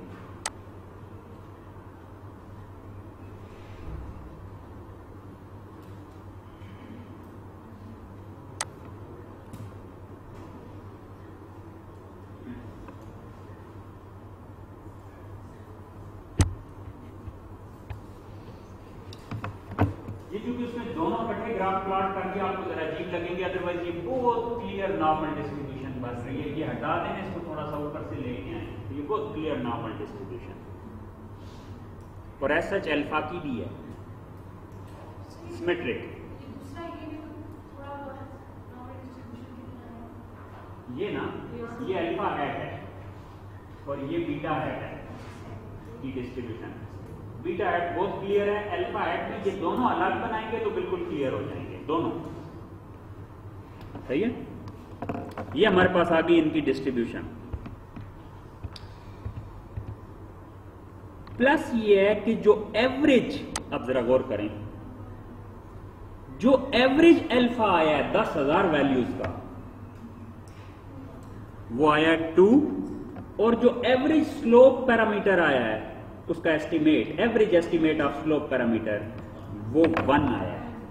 इसका मतलब है हमारा रिज़ल्ट ये निकला कि expected value of alpha hat is alpha and expected value of beta hat is इसका मतलब है अल्फ़ा हैट और बीटा हैट जो हमने लीस्ट स्क्वायर मेथड से निकाले हैं अल्फ़ा हैट और बीटा हैट वो सैंपल टू सैंपल तो वेरी करेंगे क्योंकि सैंपलिंग बाइस होता है हर सैंपल में लेकिन ऑन एवरेज वो पॉपुलेशन पैरामीटर से डिविएट नहीं कर रहे इसका मतलब है नॉन सैंपलिंग एरर नहीं है यानी कि वन बाइस्ड एस्टिमेटर वो क्या है? अनबाइस्ड एस्टिमेटर क्लियर हो गया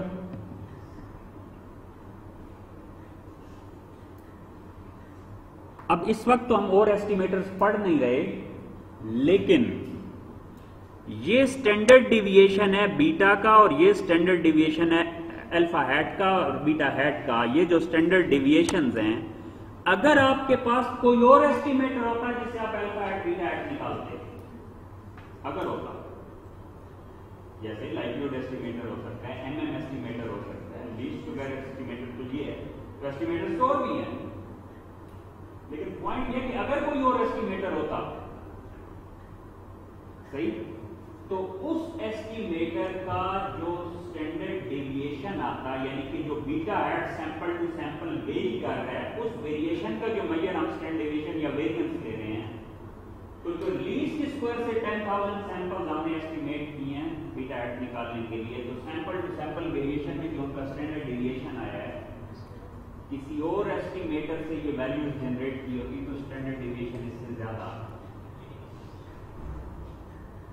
इस कॉन्सेप्ट में हम कहते हैं कि लीस्ट स्क्वायर एस्टिमेटर बेस्ट है। लीस्ट स्क्वायर एस्टिमेटर बेस्ट है।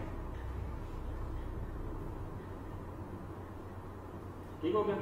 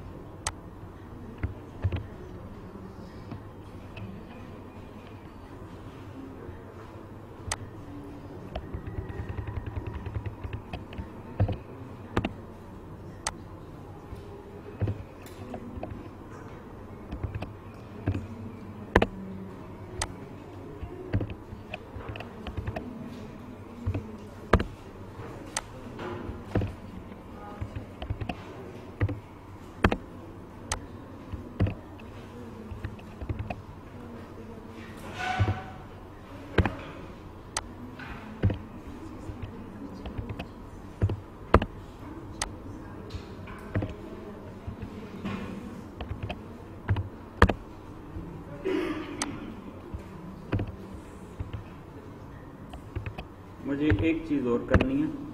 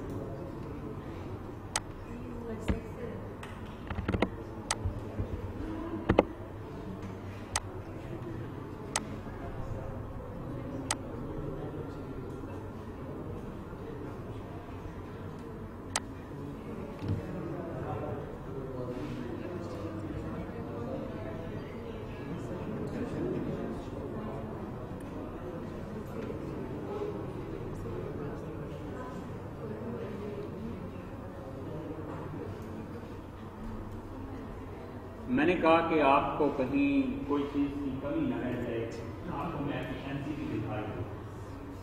अपनी नहीं एस्टिमेटर की। क्या? मैंने वेटेड लीज पर एस्टिमेटर बनाया। उसी रिलेशन कैसे बनाया पहले ये बात कर लें हालाँकि वेटेड लीस्ट स्क्वायर यहाँ चाहिए नहीं था बाय लेकिन आपको तो दिखाना है ना कोई और एस्टिमेटर आसानी के लिए बनाया इस तरह से है कि मैंने अस्यूम किया है कि ये फोर्स वेरिएंस कांस्टेंट नहीं है वेटेड लीस्ट स्क्वायर के लिए जो करना और मैंने ये किया है कि sigma i square is equal to sigma square into x i ये मेरी है। कि वेरिएंस कांस्टेंट नहीं है। वेरिएंस कांस्टेंट नहीं है और वो चेंज हो रहा है एक्स के साथ। अगर वेरिएंस एक्स के साथ चेंज हो तो वेटेड टी स्क्वायर बनता है कि जो रिलेशन आपने बनाई हुई है ना वो उस पे आप एक्स आई स्क्वायर रूट को डिवाइड करेंगे। Alpha into one over x i square root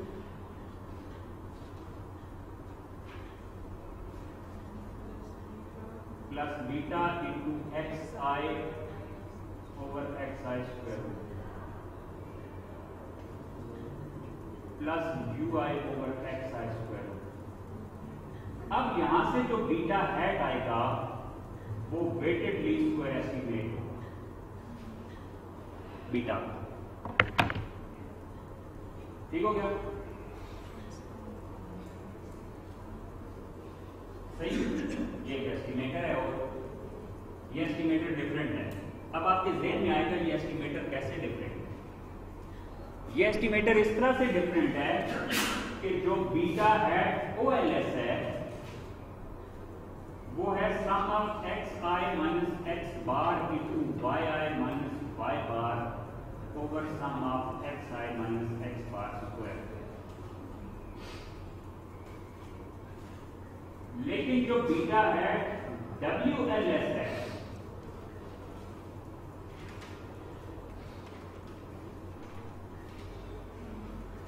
वो ये नहीं। कैसे? होगा तो लीस्ट स्क्वायर फार्मूला लेकिन आप डिपेंडेंट वेरिएबल ये है और इंडिपेंडेंट वेरिएबल ये है तो यहाँ जहाँ ये उनकी जगह ये वेरिएबल्स रिप्लेस होंगे। लेकिन मैं एग्जैक्ट फार्मूला मुझे याद नहीं है, इसकी वजह से क्या है कि ये मल्टीपल रिग्रेशन हो गई है। ये भी एक वेरिएबल है, ये भी एक वेरिएबल है। ये मल्टीपल रिग्रेशन मल्टीपल रिग्रेशन में जो भी कोएफिशिएंट का फार्मूला ये तो सिंपल रिग्रेशन होगा उसी लीस्ट स्क्वायर की तरह ही, लेकिन मल्टीपल रिग्रेशन वाला लेकिन पॉइंट ये कि जहाँ जहाँ x था वहाँ ये आएगा जहाँ y था उसकी जगह ये आएगा तो एस्टिमेटर बदल गया। जब ये हमने एस्टिमेटर बदला तो बजाय देखने में तो आपको ये लग रहा है कि तो रिग्रेशन का ही गया रिग्रेशन ये थी और हमने उठा के क्या बना दी? ये। लेकिन रिग्रेशन बनाने के बाद जो स्लोप कोफिशिएंट है वो क्या है? बीटा और इधर स्लोप कोफिशिएंट क्या है? बीटा तो सेम हो गया। लेकिन जो अल्फ़ा है, उसमें एक मसला हो गया है। वो ये है कि यहाँ अल्फ़ा कांस्टेंट था, यहाँ अल्फ़ा एक वेरिएबल का कोफिशिएंट है। तो अल्फ़ा में मसला है, बीटा वही है। तो अगर बीटा वही है तो इसका मतलब ये है कि अगर expected value of beta W L S की बीटा की इक्वल आता है तो वेटेड लीस्ट स्क्वायर एस्टिमेटर भी अनबाइस्ड है। क्लियर मैंने कर लिया ये काम। ये वेटेड लीस्ट स्क्वायर एस्टिमेट्स आए अल्फ़ा को तो भूल जाइए, अजीब सी वैल्यू आ रही है। उधर टू थी ये ये इसको नहीं लेना। क्यों? ये अल्फ़ा, वो अल्फ़ा नहीं था। वो अल्फ़ा कांस्टेंट था, ये अल्फ़ा एक वेरिएबल का कोएफिशिएंट है। लेकिन चूँकि बीटा कंपेरेबल है उधर और इधर, उधर भी एक वेरिएबल का कोएफिशिएंट था, इधर भी एक वेरिएबल का कोएफिशिएंट है तो वही बीटा है। इसलिए अगर आप बीटा को गौर करें तो क्या है? एवरेज वैल्यू टू और पॉपुलेशन का बीटा क्या था? टू तो इसका मतलब है वेटेड लीस्ट स्क्वायर एस्टिमेटर भी अनबाइस्ड है oh oh sorry sorry sorry sorry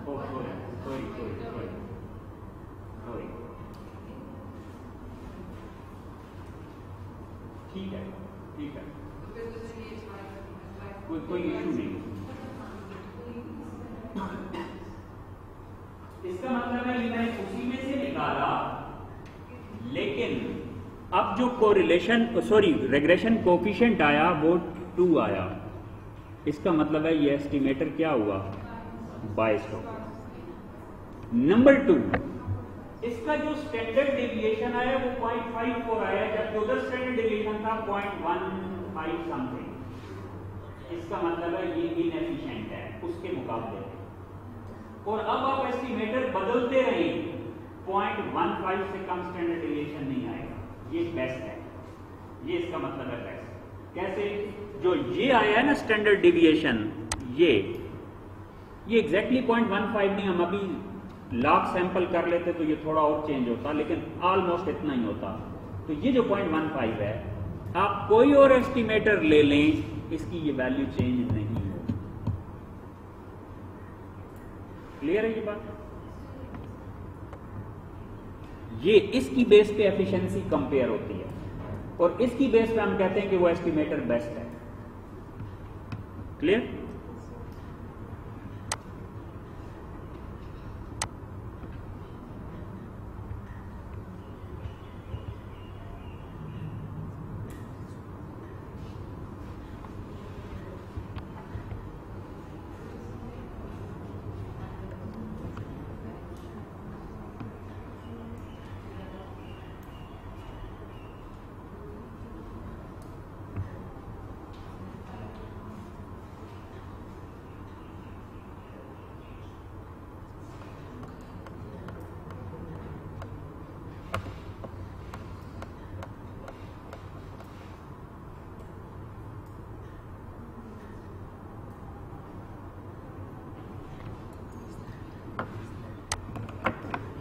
मैं करेक्शन ज़रा कर लूँ, वो एक्चुअली बाइस्ड होना नहीं चाहिए। एक एक। मुझे एक करेक्शन करने दें।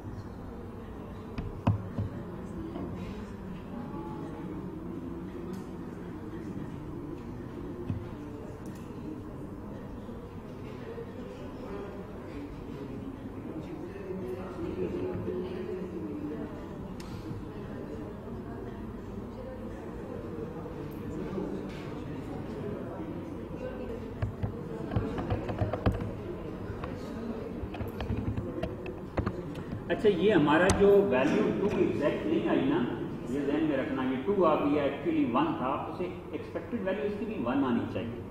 ये थोड़ा सा कैलकुलेशन में गलती है। कैलकुलेशन में ये गलती है कि मैंने इसको इस पर एड्रेस कर दिया हालाँकि अब ये भी एक इंडिपेंडेंट दोनों को इकट्ठा एड्रेस सही है लेकिन जिस तरीके से ये सिमुलेट करना है, उस तरीके में ये फार्मूले में चीज़ आ नहीं रही। लेकिन मैं आपको जस्ट समझाने के लिए एक दफ़ा कर देता हूँ कि अगर मैं इसको एक और तरीके से करता किधर गया, इसका डेटा एनालिसिस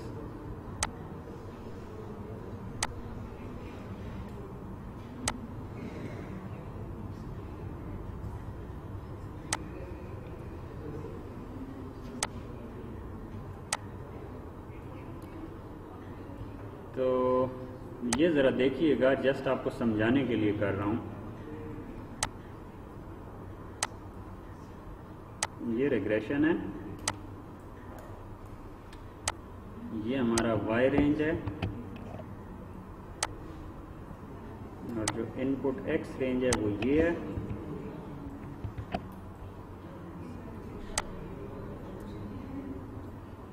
और कांस्टेंट इज़ ज़ीरो और ये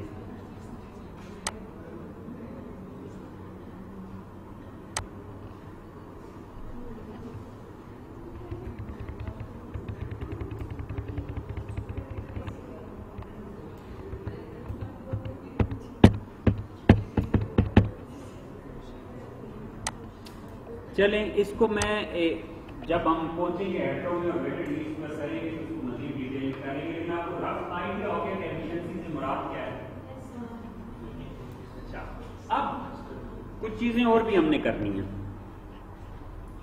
वो ये कि हम यहाँ पहुँचे थे कि ये उसका वेरी कर रहा है। वेरिएशन कैसे है कि ये नॉर्मली डिस्ट्रीब्यूटेड है? और उसकी जो एवरेज वैल्यू है वो एग्जैक्टली exactly वो आई है। अच्छा एक बात मुझे बताएँ।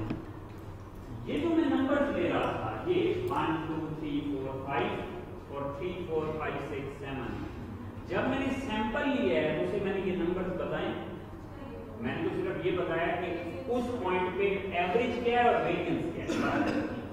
और डिस्ट्रीब्यूशन क्या है। मैंने तो कुछ नहीं बताया। स्टिल 10000 वैल्यूज़ का जो एवरेज है वो एग्जैक्टली पॉपुलेशन वाला ही आ गया। हालाँकि ये इंफॉर्मेशन पॉपुलेशन की तो मैंने उधर दी ही नहीं।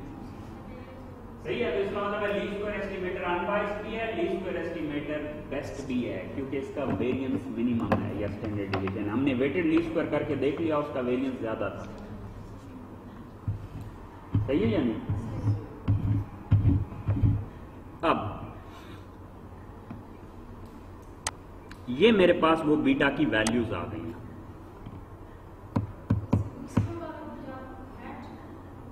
ये बीटा हैट है। और ये उसकी टेन थाउज़ेंड वैल्यूज़ हैं।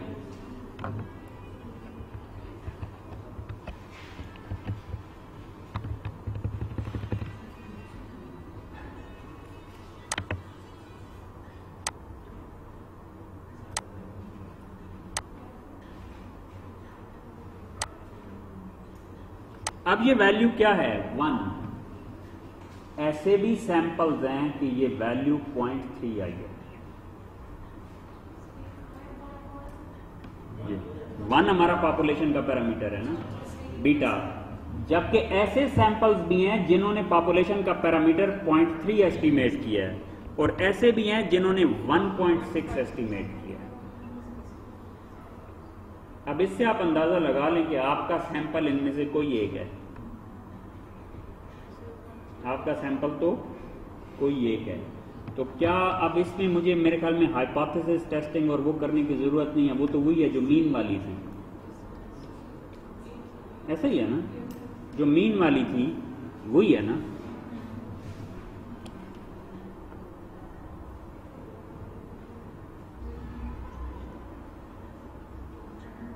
अब इसमें मैं एक स्टेप और आगे चलता हूँ, क्या करूँ? एक काम और करते हैं। वो ये है कि ये जो हम पढ़ रहे थे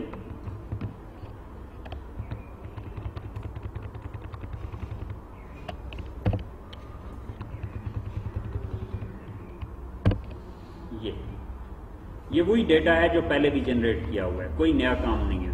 सिर्फ़ इसमें मैं एक चीज़ चेंज करने लगा हूँ।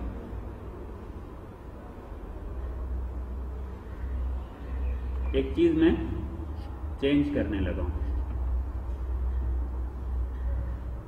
और चेंज ये कर रहा हूँ कि हर स्टेप पे मीन तो पहले चेंज हो रहा था इसका मीन था थ्री इसका फोर इसका फाइव सिक्स सेवन लेकिन वेरियंस अब मैं एक नया काम करने लगा एक्स जो जो बढ़ रहा है वाई का एवरेज वैल्यू भी चेंज हो रही है उसका वेरियंस भी चेंज हो रहा है। यानी कि ऐसी पॉपुलेशन बनाने लगा हूँ जिसमें एक्स की वैल्यूज़ के साथ एवरेज वैल्यू ऑफ़ y भी चेंज हो और वेरियंस ऑफ़ y भी चेंज हो।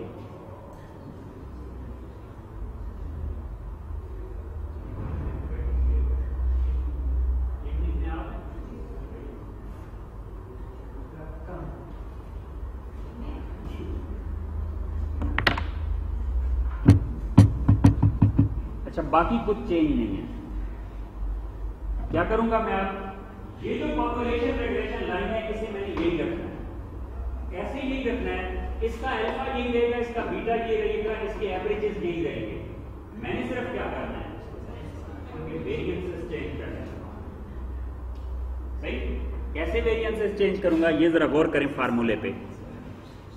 ये जो ऊपर लिखा हुआ है three three is the expected value of y one और square root of two two variance है। जरा इससे नीचे देखे मैंने क्या किया है। स्क्वायर रूट ऑफ़ टू वही लिखा हुआ है फोर लिख दिया है फोर एवरेज की जगह आया है। नीचे आऊँगा तो क्या होगा? चेंज क्या हो रहा है? मीन चेंज हो रहा है। हर जगह। वेरिएंस सेम है। अब मीन चेंज होने वाले होंगे उसी रेशो से वेरिएंस में चेंज करता जाऊँगा। मसलन यहाँ स्क्वायर रूट ऑफ़ टू था ना यहाँ स्क्वायर रूट ऑफ़ 2.5 कर देते हैं। यहाँ स्क्वायर रूट ऑफ़ थ्री कर देता हूँ। यहाँ स्क्वायर रूट ऑफ़ 3.5 कर देता हूँ। यहाँ स्क्वायर रूट ऑफ़ फोर फिर 4.5 फिर 5 5.5 6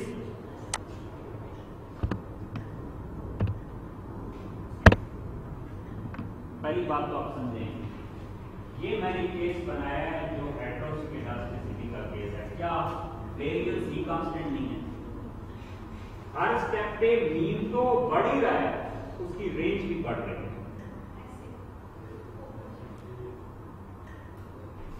यानी कि मीन अब यही रहेगा।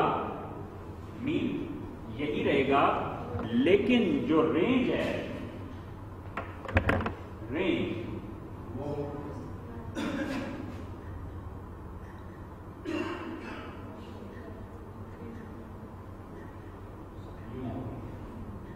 रेंजेस बड़ी होगी। पॉइंट समझ आ गया? और उस रेंजेस के साथ मैंने फिर से क्या किया? फिर से क्या किया? नहीं, फिर से सैंपल सिलेक्ट किया। अब जो सैंपल सिलेक्ट किया, उसका इंटरसेप्ट आया है टू और उसका स्लोप आया है वन क्या ज़बरदस्त रिज़ल्ट आया लेकिन ये तो एक सैंपल है। ये तो सैंपल बदल लेते हैं ना। कहानी खराब हो गई। आगे बदलते हैं। पर ये ठीक है। ये बहुत खराब। ये खराब। बहुत ही खराब। इंटरसेप्ट पॉइंट टू एट देखिए आप, आपने समझना है उस डेटा और इस डेटा में फ़र्क क्या है? सिर्फ़ वेरिएंस का। मीन हुई है नंबर्स भी हुई है एक्स भी हुई है। वाई की जो वेरिएशन है पॉसिबल उसको मैंने दिया। और कैसे बढ़ाया? हर स्टेप पे और ज़्यादा होगी जा रही हर स्टेप पे बढ़ती जा रही क्लियर अब क्या करें? इसका सिमुलेट करते हैं। अब हम इसको सिमुलेट करते हैं। इसकी सिमुलेशन से क्या आएगा? इसको हमने ट्रैक करना है के फोर्टीन को। और जो सेकंड सेल है, उसकी जगह हम ये रख रहे हैं के thirteen clear ten thousand samples रखने हैं या एक लाख कर दूँ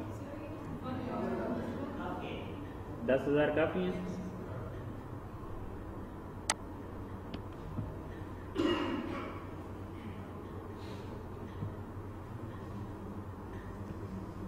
ये बड़ा इंपॉर्टेंट रिज़ल्ट आया। है ये रिज़ल्ट बड़ा इंपॉर्टेंट आया है। क्या? रिज़ल्ट ये आया है कि expected value of beta hat is beta and expected value of alpha hat is alpha so even if the errors are heteroscedastic the alpha hat and beta hat, which means estimate least square estimators of alpha and beta remains मैंने आपके सामने errors का variance change कर दिया ना। मैंने change करके देख लिया है। उनकी एक्सपेक्टेड वैल्यूज़ क्या आई हैं?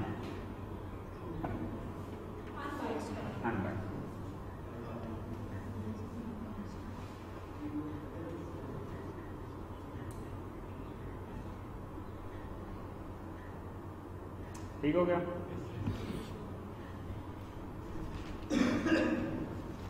इसका मतलब है heteroscedastic error no b least square estimators remain unbiased लेकिन जब मैं हेट्रोसिकिडास्टिक की जगह होमोसिकिडास्टिक एरर्स थे तो ये वन था और अब ये क्या है? ये अब भी वन है। ऐसा ही है। लेकिन पहले इसका स्टैंडर्ड डेविएशन क्या था? 0.15 अब उसका स्टैंडर्ड डेविएशन क्या हो गया? 0.23 so the estimator become inefficient वही एस्टिमेटर जो पहले एफिशिएंट था बेस्ट था नाउ इट इज़ इनएफिशिएंट क्यों? उसका बाय अनबस्ट तो भी, भी है लेकिन उसका स्टैंडर्ड डेविएशन बढ़ गया है। और न सिर्फ़ ये कि बढ़ गया है बल्कि अब ऐसे एस्टिमेटर्स और भी हैं जिनका स्टैंडर्ड डेविएशन इसके स्टैंडर्ड डेविएशन से कम आएगा तो ये बेस्ट नहीं रहा। वो कौन से एस्टिमेटर्स हैं, हम देख लेते हैं, लेकिन एक चीज़ ये है क्योंकि एस्टिमेटर का वेरिएंस या स्टैंडर्ड डेविएशन बढ़ गया है तो बीच में खिलाफ पैदा हो गया कोई और एस्टिमेटर हो मतलब इसका स्टैंडर्ड डेविएशन ये था, ये हो गया कोई और एस्टिमेटर ऐसा है जिसका स्टैंडर्ड डेविएशन इसके बीच में है तो वो बेस्ट हो जाएगा। क्लियर दूसरी बात आपको पता है कि वेरियंस ऑफ़ बीटा हेड जो है, उसका फार्मूला क्या है? या कुछ फार्मूले याद रखा करो, आप जवान लोग हो।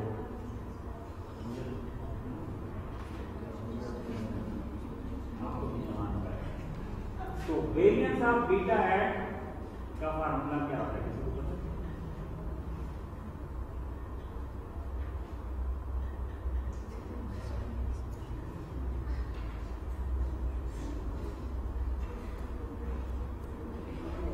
तुक्का मैं लगा देता हूँ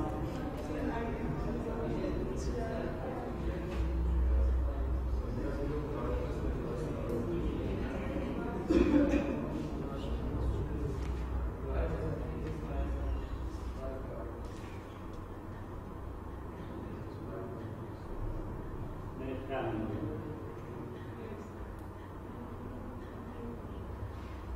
अब हम निकाल लेते हैं हमारे डेटा में sum of x i minus x bar है कितना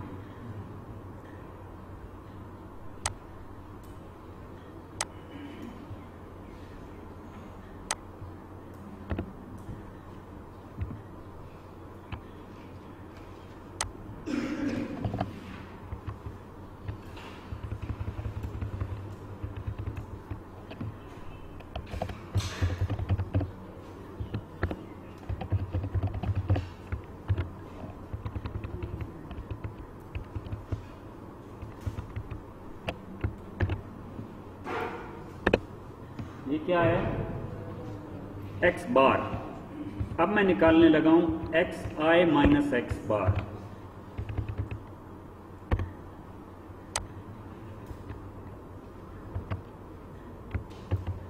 whole square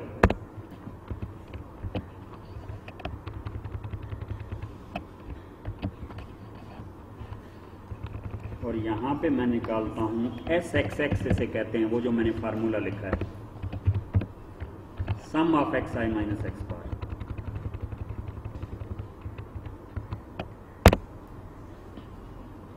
clear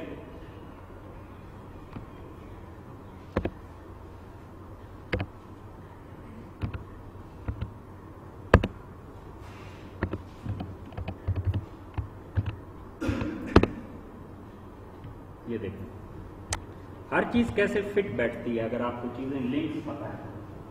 एक फार्मूला होता है लेजेस ऑफ़ बीटा हैट का क्या sigma square which is variance of the error term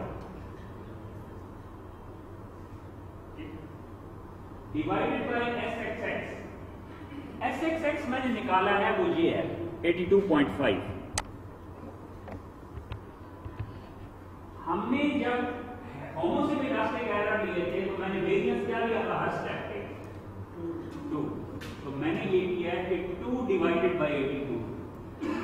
बन गया क्या?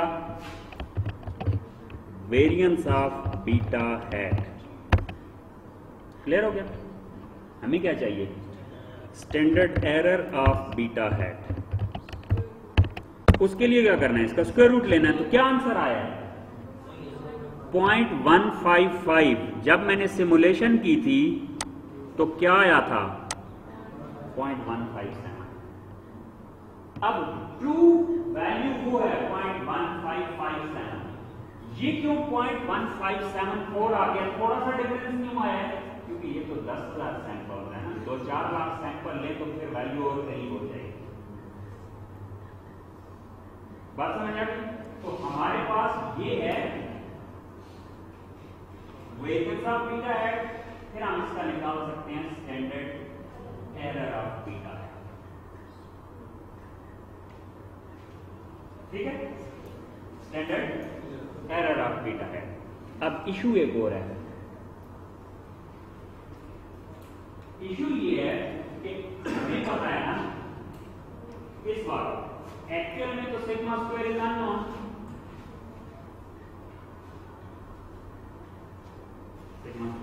होता है। ये नॉन होता है। अननोन होता है। So we take an unbiased estimator of this sigma which is residual sum of square over degrees of freedom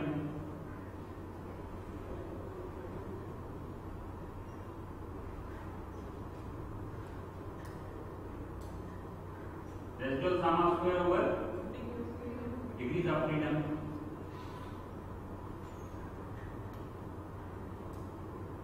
क्या करें सपोज़ हम थोड़ी देर के लिए खुद से भूल जाते हैं कि हमने वेरियंस टू रखा था। वैसे तो हमें पता है हमने टू रखा हुआ है, लेकिन हम भूल जाते हैं हमने टू रखा था। फिर क्या करना पड़ेगा?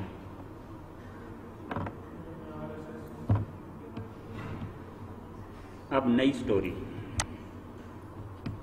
अब हमें रेजिडुअल सम ऑफ़ स्क्वायर निकालना पड़ेगा। क्या करना पड़ेगा? रेजिडुअल सम ऑफ़ स्क्वायर निकालना पड़ेगा। तो निकाल लेते हैं रेजिडुअल सम ऑफ़ स्क्वायर कौन सी टेंशन की बात है?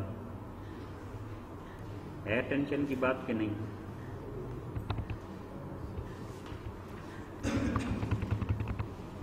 खैर रेजिडुअल सम ऑफ़ स्क्वायर निकालने के लिए आपको करना पड़ेगा y where is y? y minus alpha hat minus beta hat multiplied by x ये हो गया एरर अब इस एरर का करते हैं स्क्वायर इस एरर का क्या कर लिया मैंने? स्क्वायर और ये रेजिडुअल सम ऑफ़ स्क्वायर आ गया।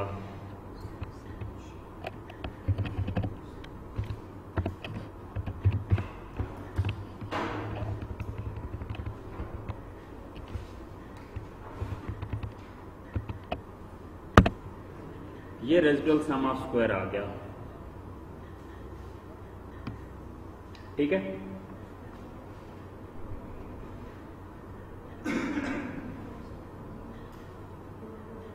Residual sum of square degrees of freedom कितने हैं?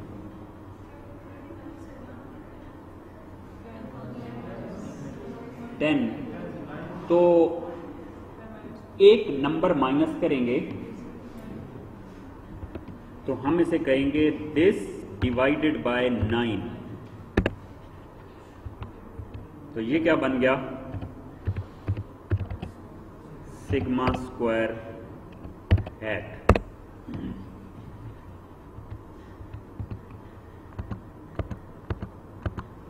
clear? ये क्या बन गया? सिग्मा स्क्वायर हैट अब ये वैल्यूज़ हो गई हैं इस अजम्पशन में कि या नॉन है क्लियर अब जब ये सिग्मा स्क्वायर हैट आ गया, तब हम इसको एस एक्स एक्स से डिवाइड करेंगे। तो बन जाएगा वेरियंस ऑफ़ बीटा हैट क्या? अब वो वेरिएंस ऑफ़ बीटा हैट इस अजम्पशन पे था कि सिग्मा स्क्वायर नॉन है। ये इस अजम्पशन पे है कि वो अननोन है।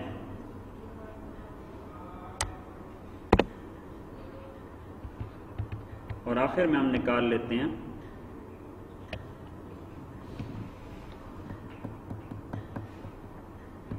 चलें वेरिएंस तक रुक जाते हैं। या चलें स्टैंडर्ड एरर निकाल लेते हैं। ये बहुत ही, चूँकि छोटा नंबर आ रहा है तो वो ज़रा रीज़नेबल नंबर आ जाएगा।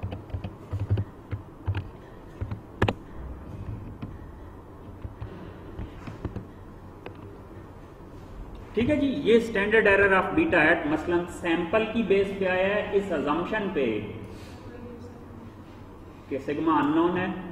ये था इस अजम्पशन पे कि सिग्मा नॉन है। ये पॉइंट वन फाइव है और ये पॉइंट वन सेवन है। लेकिन फ़र्क ये है कि वो एक ही था। वो एक ही कैलकुलेट हुआ है, क्योंकि वो ट्रू वैल्यू है। अब जरा ये भी समझें। ये ये नोट कर जो वेरिएंस ऑफ़ बीटा एट है, वो क्या है? ये है। Point one five five seven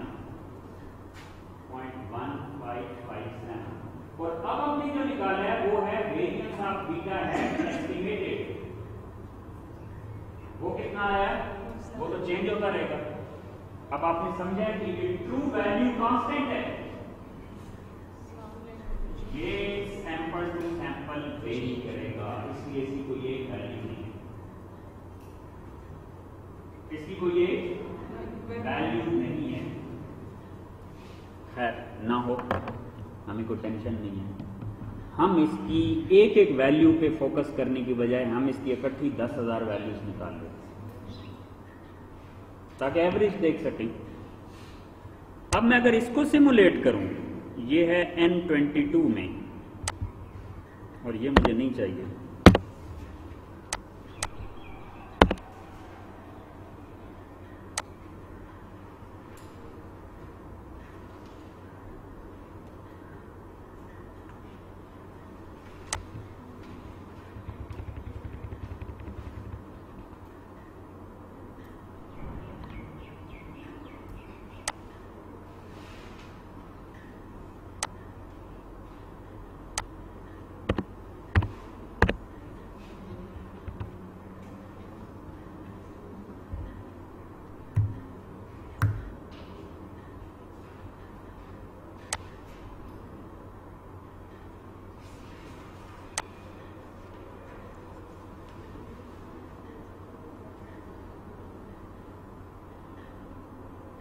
ले जी। क्या है? देखिए, चीज़ें घूम फिर के कहाँ आ रही हैं। बोले, क्या है?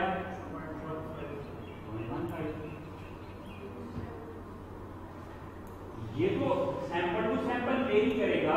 अलबत्ता मेरे पास जो एक्सपेक्टेड वैल्यू थी स्टैंडर्ड एरर स्टैंडर्ड एरर मेरे पास जो expected value of standard error of beta hat estimated की वैल्यू आई है वो कितनी है?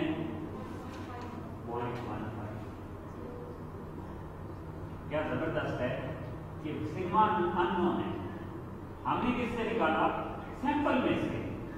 लेकिन जब 10000 सैंपल ड्रा किए तो उसकी एवरेज वैल्यू भी आ गई। अब फिर आप कहेंगे एग्जैक्टिव नहीं आई? मैं तो 10000 सैंपल है यहाँ तो 10 लाख सैंपल भी निकल सकते तो 10 लाख सैंपल लेते तो आंसर और ही। होगा point one five two decimal places तक तो सेम आया ना इसका मतलब है, अगर आपके पास ट्रू वैल्यू नहीं भी है स्टैंडर्ड एरर की, आप उसे सैंपल से एस्टिमेट कर सकते हैं। उसकी एवरेज वैल्यू स्टैंडर्ड एरर की ट्रू स्टैंडर्ड एरर के बराबर होगी। ये बात समझ आ लेकिन ऐसा कब हुआ? जब हमारे एरर होमोसिकेटास्टिक क्या मेरे एरर हेट्रोसिकेटास्टिक हो तो फिर भी यही होगा ये देखने की बात है। थोड़ी देर पहले हमने कहा था कि अल्फ़ा हैट और बीटा हैट रिमेन अनबायस्ड सवाल यह है क्या standard error of beta hat का एस्टिमेटर भी अनबायस्ड रहता है? ये देखना पड़ेगा। तो देख लेते हैं। आखिरी हमारी ये शायद कैलकुलेशन है इस हेट्रो के हिसाब से। हेट्रो वाला मैंने डेटा कहाँ जनरेट किया है? जहाँ स्टैंडर्ड स्क्वायर रूट चेंज हो रहा है वो ये है। ठीक है जी?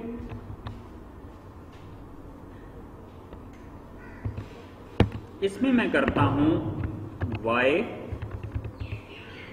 minus alpha hat minus beta hat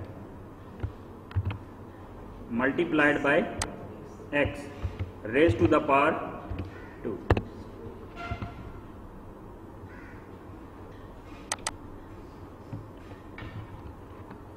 ये रेजिडुअल सम ऑफ़ स्क्वायर आ गया है किसका? ये किस केस में आया? जब हेट्रोसिटी है। ठीक हो गया? और ये उससे बहुत ज़्यादा आया। ऐसे ही है ना। टेंशन नहीं लेना। बहुत ज़्यादा है, पर टेंशन नहीं लेना।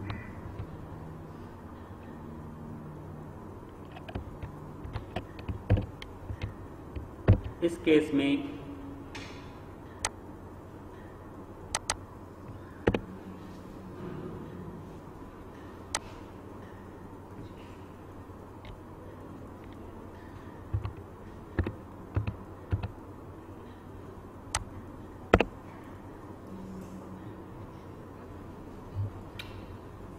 हाँ जी अब इस स्टैंडर्ड एरर को मैं फिर दस हज़ार दफ़ा सिमुलेट करूँगा। अब हेट्रोसेगिडास्टिक एरर्स हैं, ये याद रखना।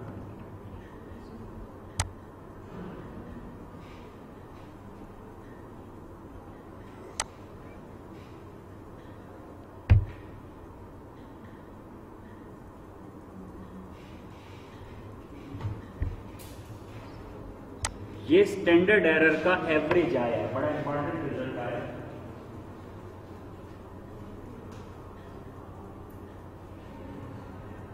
कि अब जो एक्सपेक्टेड वैल्यू ऑफ़ दिस आया है वो कितना आया zero point two two zero.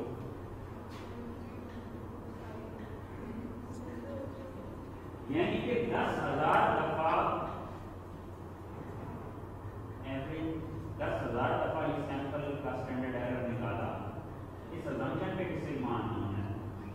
और फिर उनकी एवरेज वैल्यू ली फिर भी ट्रू पॉपुलेशन पैरामीटर इक्वल नहीं है। पॉपुलेशन पैरामीटर ये लिखा ये तो आ गई दूसरा नहीं है। इसका मतलब क्या है?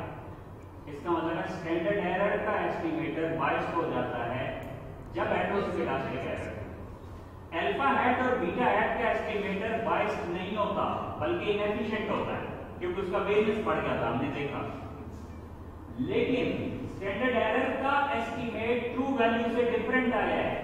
इसका मतलब ये एवरेज भी इसका मतलब है ये उसकी दस हज़ार दफ़ा का एवरेज भी उसको जब नहीं रिप्रेजेंट करता ट्रू वैल्यू को तो इसका मतलब क्या हुआ इनएफिशिएंट हो गया। नहीं इनएफिशिएंट नहीं सॉरी बाइस्ड हो गया। स्टैंडर्ड एरर का एस्टीमेट बाइस्ड हो गया। नहीं नहीं एफिशिएंसी अलग चीज़ है। यही दो दो बड़े डिफरेंट चीज़ें हैं। वेरियंस एक्चुअल में बढ़ गया है, इसका मतलब है अल्फ़ा हैट और बीटा हैट इनएफिशिएंट एस्टिमेटर हो गए हैं। दूसरी बात यह कि अल्फ़ा हैट और बीटा हैट के जो अपने वेरियंस के एस्टिमेटर हैं, वो बाइस्ड हो गए। ठीक है? ये रेजिडुअल ये हो गया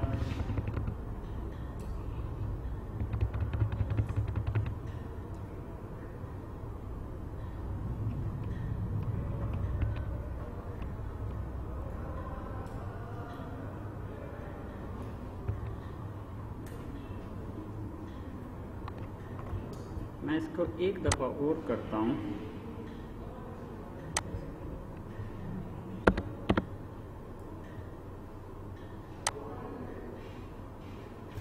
एक दफ़ा मुझे और सिमुलेट करना पड़ेगा ये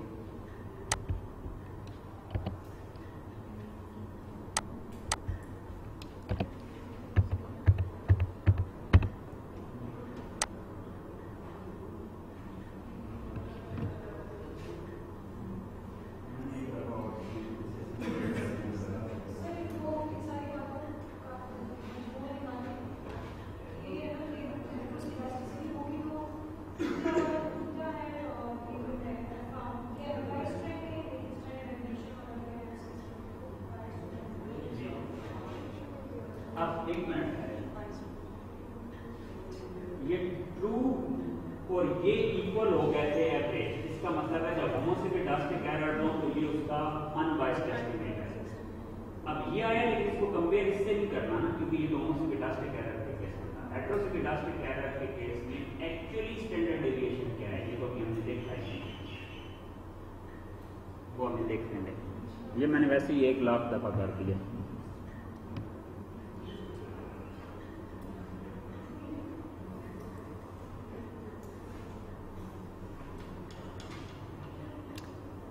पॉइंट टू टू और है, वही आया। पहले ये आया था, दस हज़ार का लास्ट सैंपल का करके देखा है पॉइंट टू मतलब इसका एवरेज ये। अब सवाल यह है कि जब हेट्रोसिपिडास्टिक एरर्स हों तो एक्चुअल स्टैंडर्ड एरर कितना है? वो भी तो देखे ना। वो किसी को याद है क्या है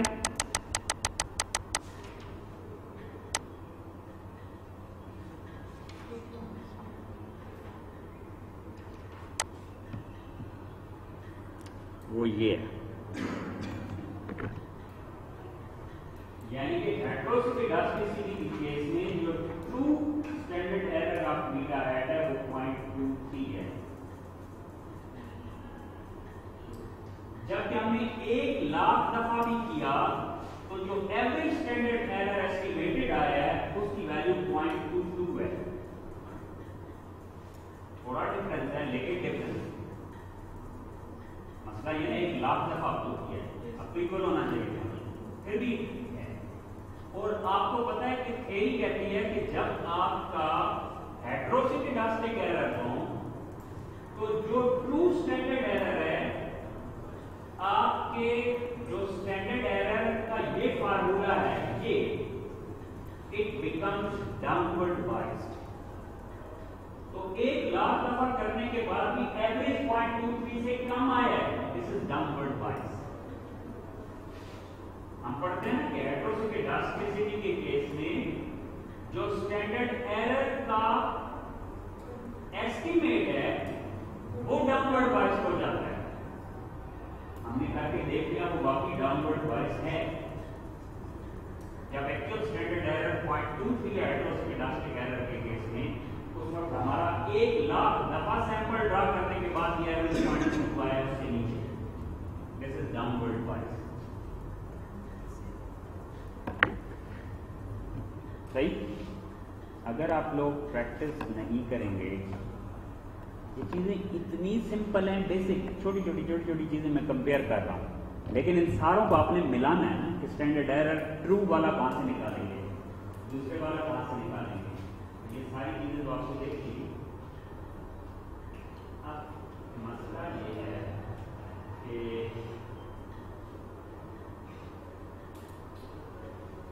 हमने आज क्या सीखा? नंबर वन समराइज करें।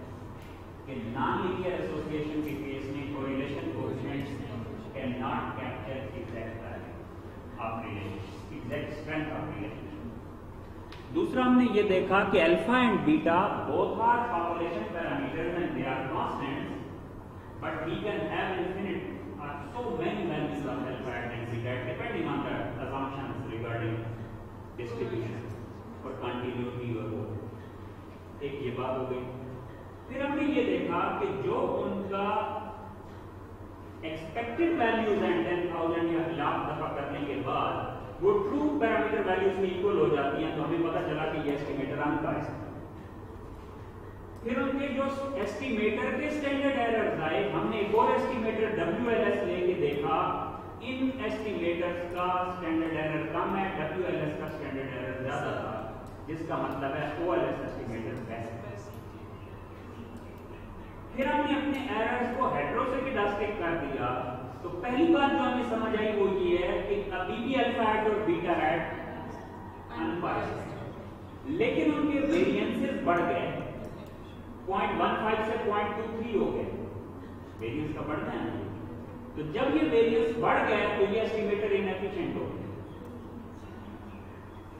और फिर हमने कहा कि अब वो जो इनएफिशिएंसी है अब अगर आप उसको एस्टिमेट करना चाहें इनएफिशिएंसी तो हो गई है वेरिएंस बढ़ गया है, लेकिन क्वेश्चन ये है कि उस वेरिएंस को आप एस्टिमेट कैसे करेंगे?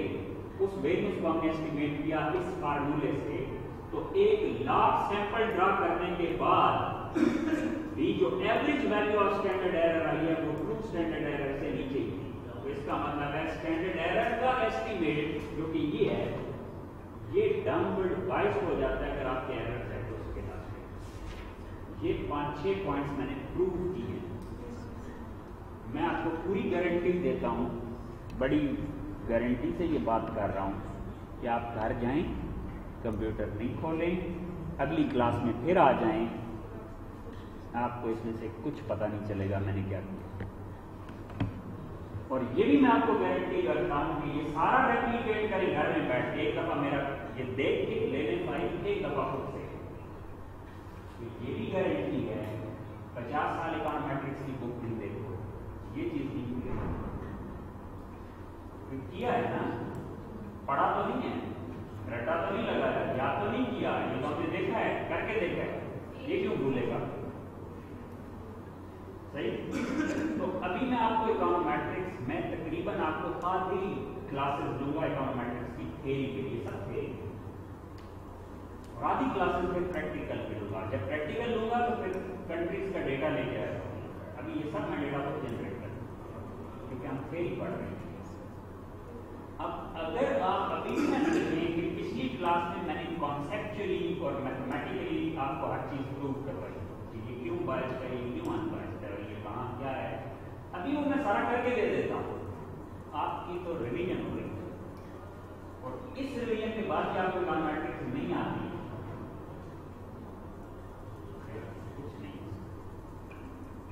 रिवाइज भी कर लिया मैथमेटिकली भी देख लिया, हर स्टेप करके देख लिया। आपको मैं यकीन से कहता हूँ, जब हम स्टूडेंट थे तो हमें तो कई दफ़ा ये टेंशन होती रहती थी, यार, ये कह तो देते हैं ये बीटा है रैंडम वेरिएबल है कैसे है बीटा है तो एक ही हमारे पास क्योंकि हमने उस वक्त ये इस तरह करके नहीं देखा कि यार ये चीज़ें हैं, कैसे ये रैंडम वेरिएबल क्या उसका पीडीएफ बनता है? अब आपके सामने पीडीएफ बने हुए हैं। अभी भी आपकी समझ में नहीं आती चीज़ें। फिर इसका मतलब आप सीखना चाहते हैं। क्योंकि ये गेम है, इसको खेलना पड़ेगा। मैं आपके सामने एक दफ़ा ड्राइविंग कर लूँ और आप एक दफ़ा देख लें और फिर सो जाएँ। और दस दिन के बाद कहें, मैं तो अब गाड़ी चला लूँगा। क्योंकि मैंने किसी को चलाते हुए देखा। था पॉसिबल नहीं आपने जिस तरह मुझे ड्राइविंग करते देखा है, आप ऐसी जाके घर में ड्राइविंग करेंगे। कीजिएगा ग्राउंड में रोड गली वरना एक्सीडेंट होगा। और आप कई एक्सीडेंट करेंगे कई गलतियाँ करेंगे। लेकिन उन गलतियों से सीखेंगे। और जब आप सीख लेंगे, फिर ड्राइविंग एक दफ़ा आ जाए तो दस साल ड्राइविंग न की जाए तो क्या भूल जाती है? नहीं भूलती तो आप ही याद तो इतनी सी बात है ये बात समझ आई मेरी बात समझ आ रही है अब आप है आप सिर्फ़ मुझे ड्राइविंग करता देखना चाहते हैं तो आप कीमत अगर आपको इस तरह से समझ समझते हैं कि इस तरह आ जाएगी ड्राइविंग तो कीमत मेरे ख्याल में तो नहीं आएगी सही है ना और ये चीज़ें बार बार कह रहा हूँ अच्छे तरीके से प्रैक्टिस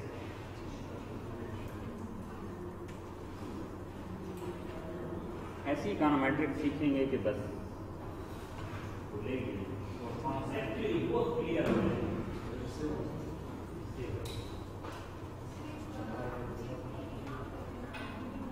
देखिए। मेरे पॉइंट समझे मैंने क्या क्या पॉइंट्स प्रूव किए, वो आपने याद रखने। वो पॉइंट सारे आपने हैं खुद से। लेकिन अगर आप कहेंगे कि ये मेरे रैंडम नंबर भी जनरेट हुए मैं इसी फ़ाइल में चेंजेस कर लेते हैं Yeah.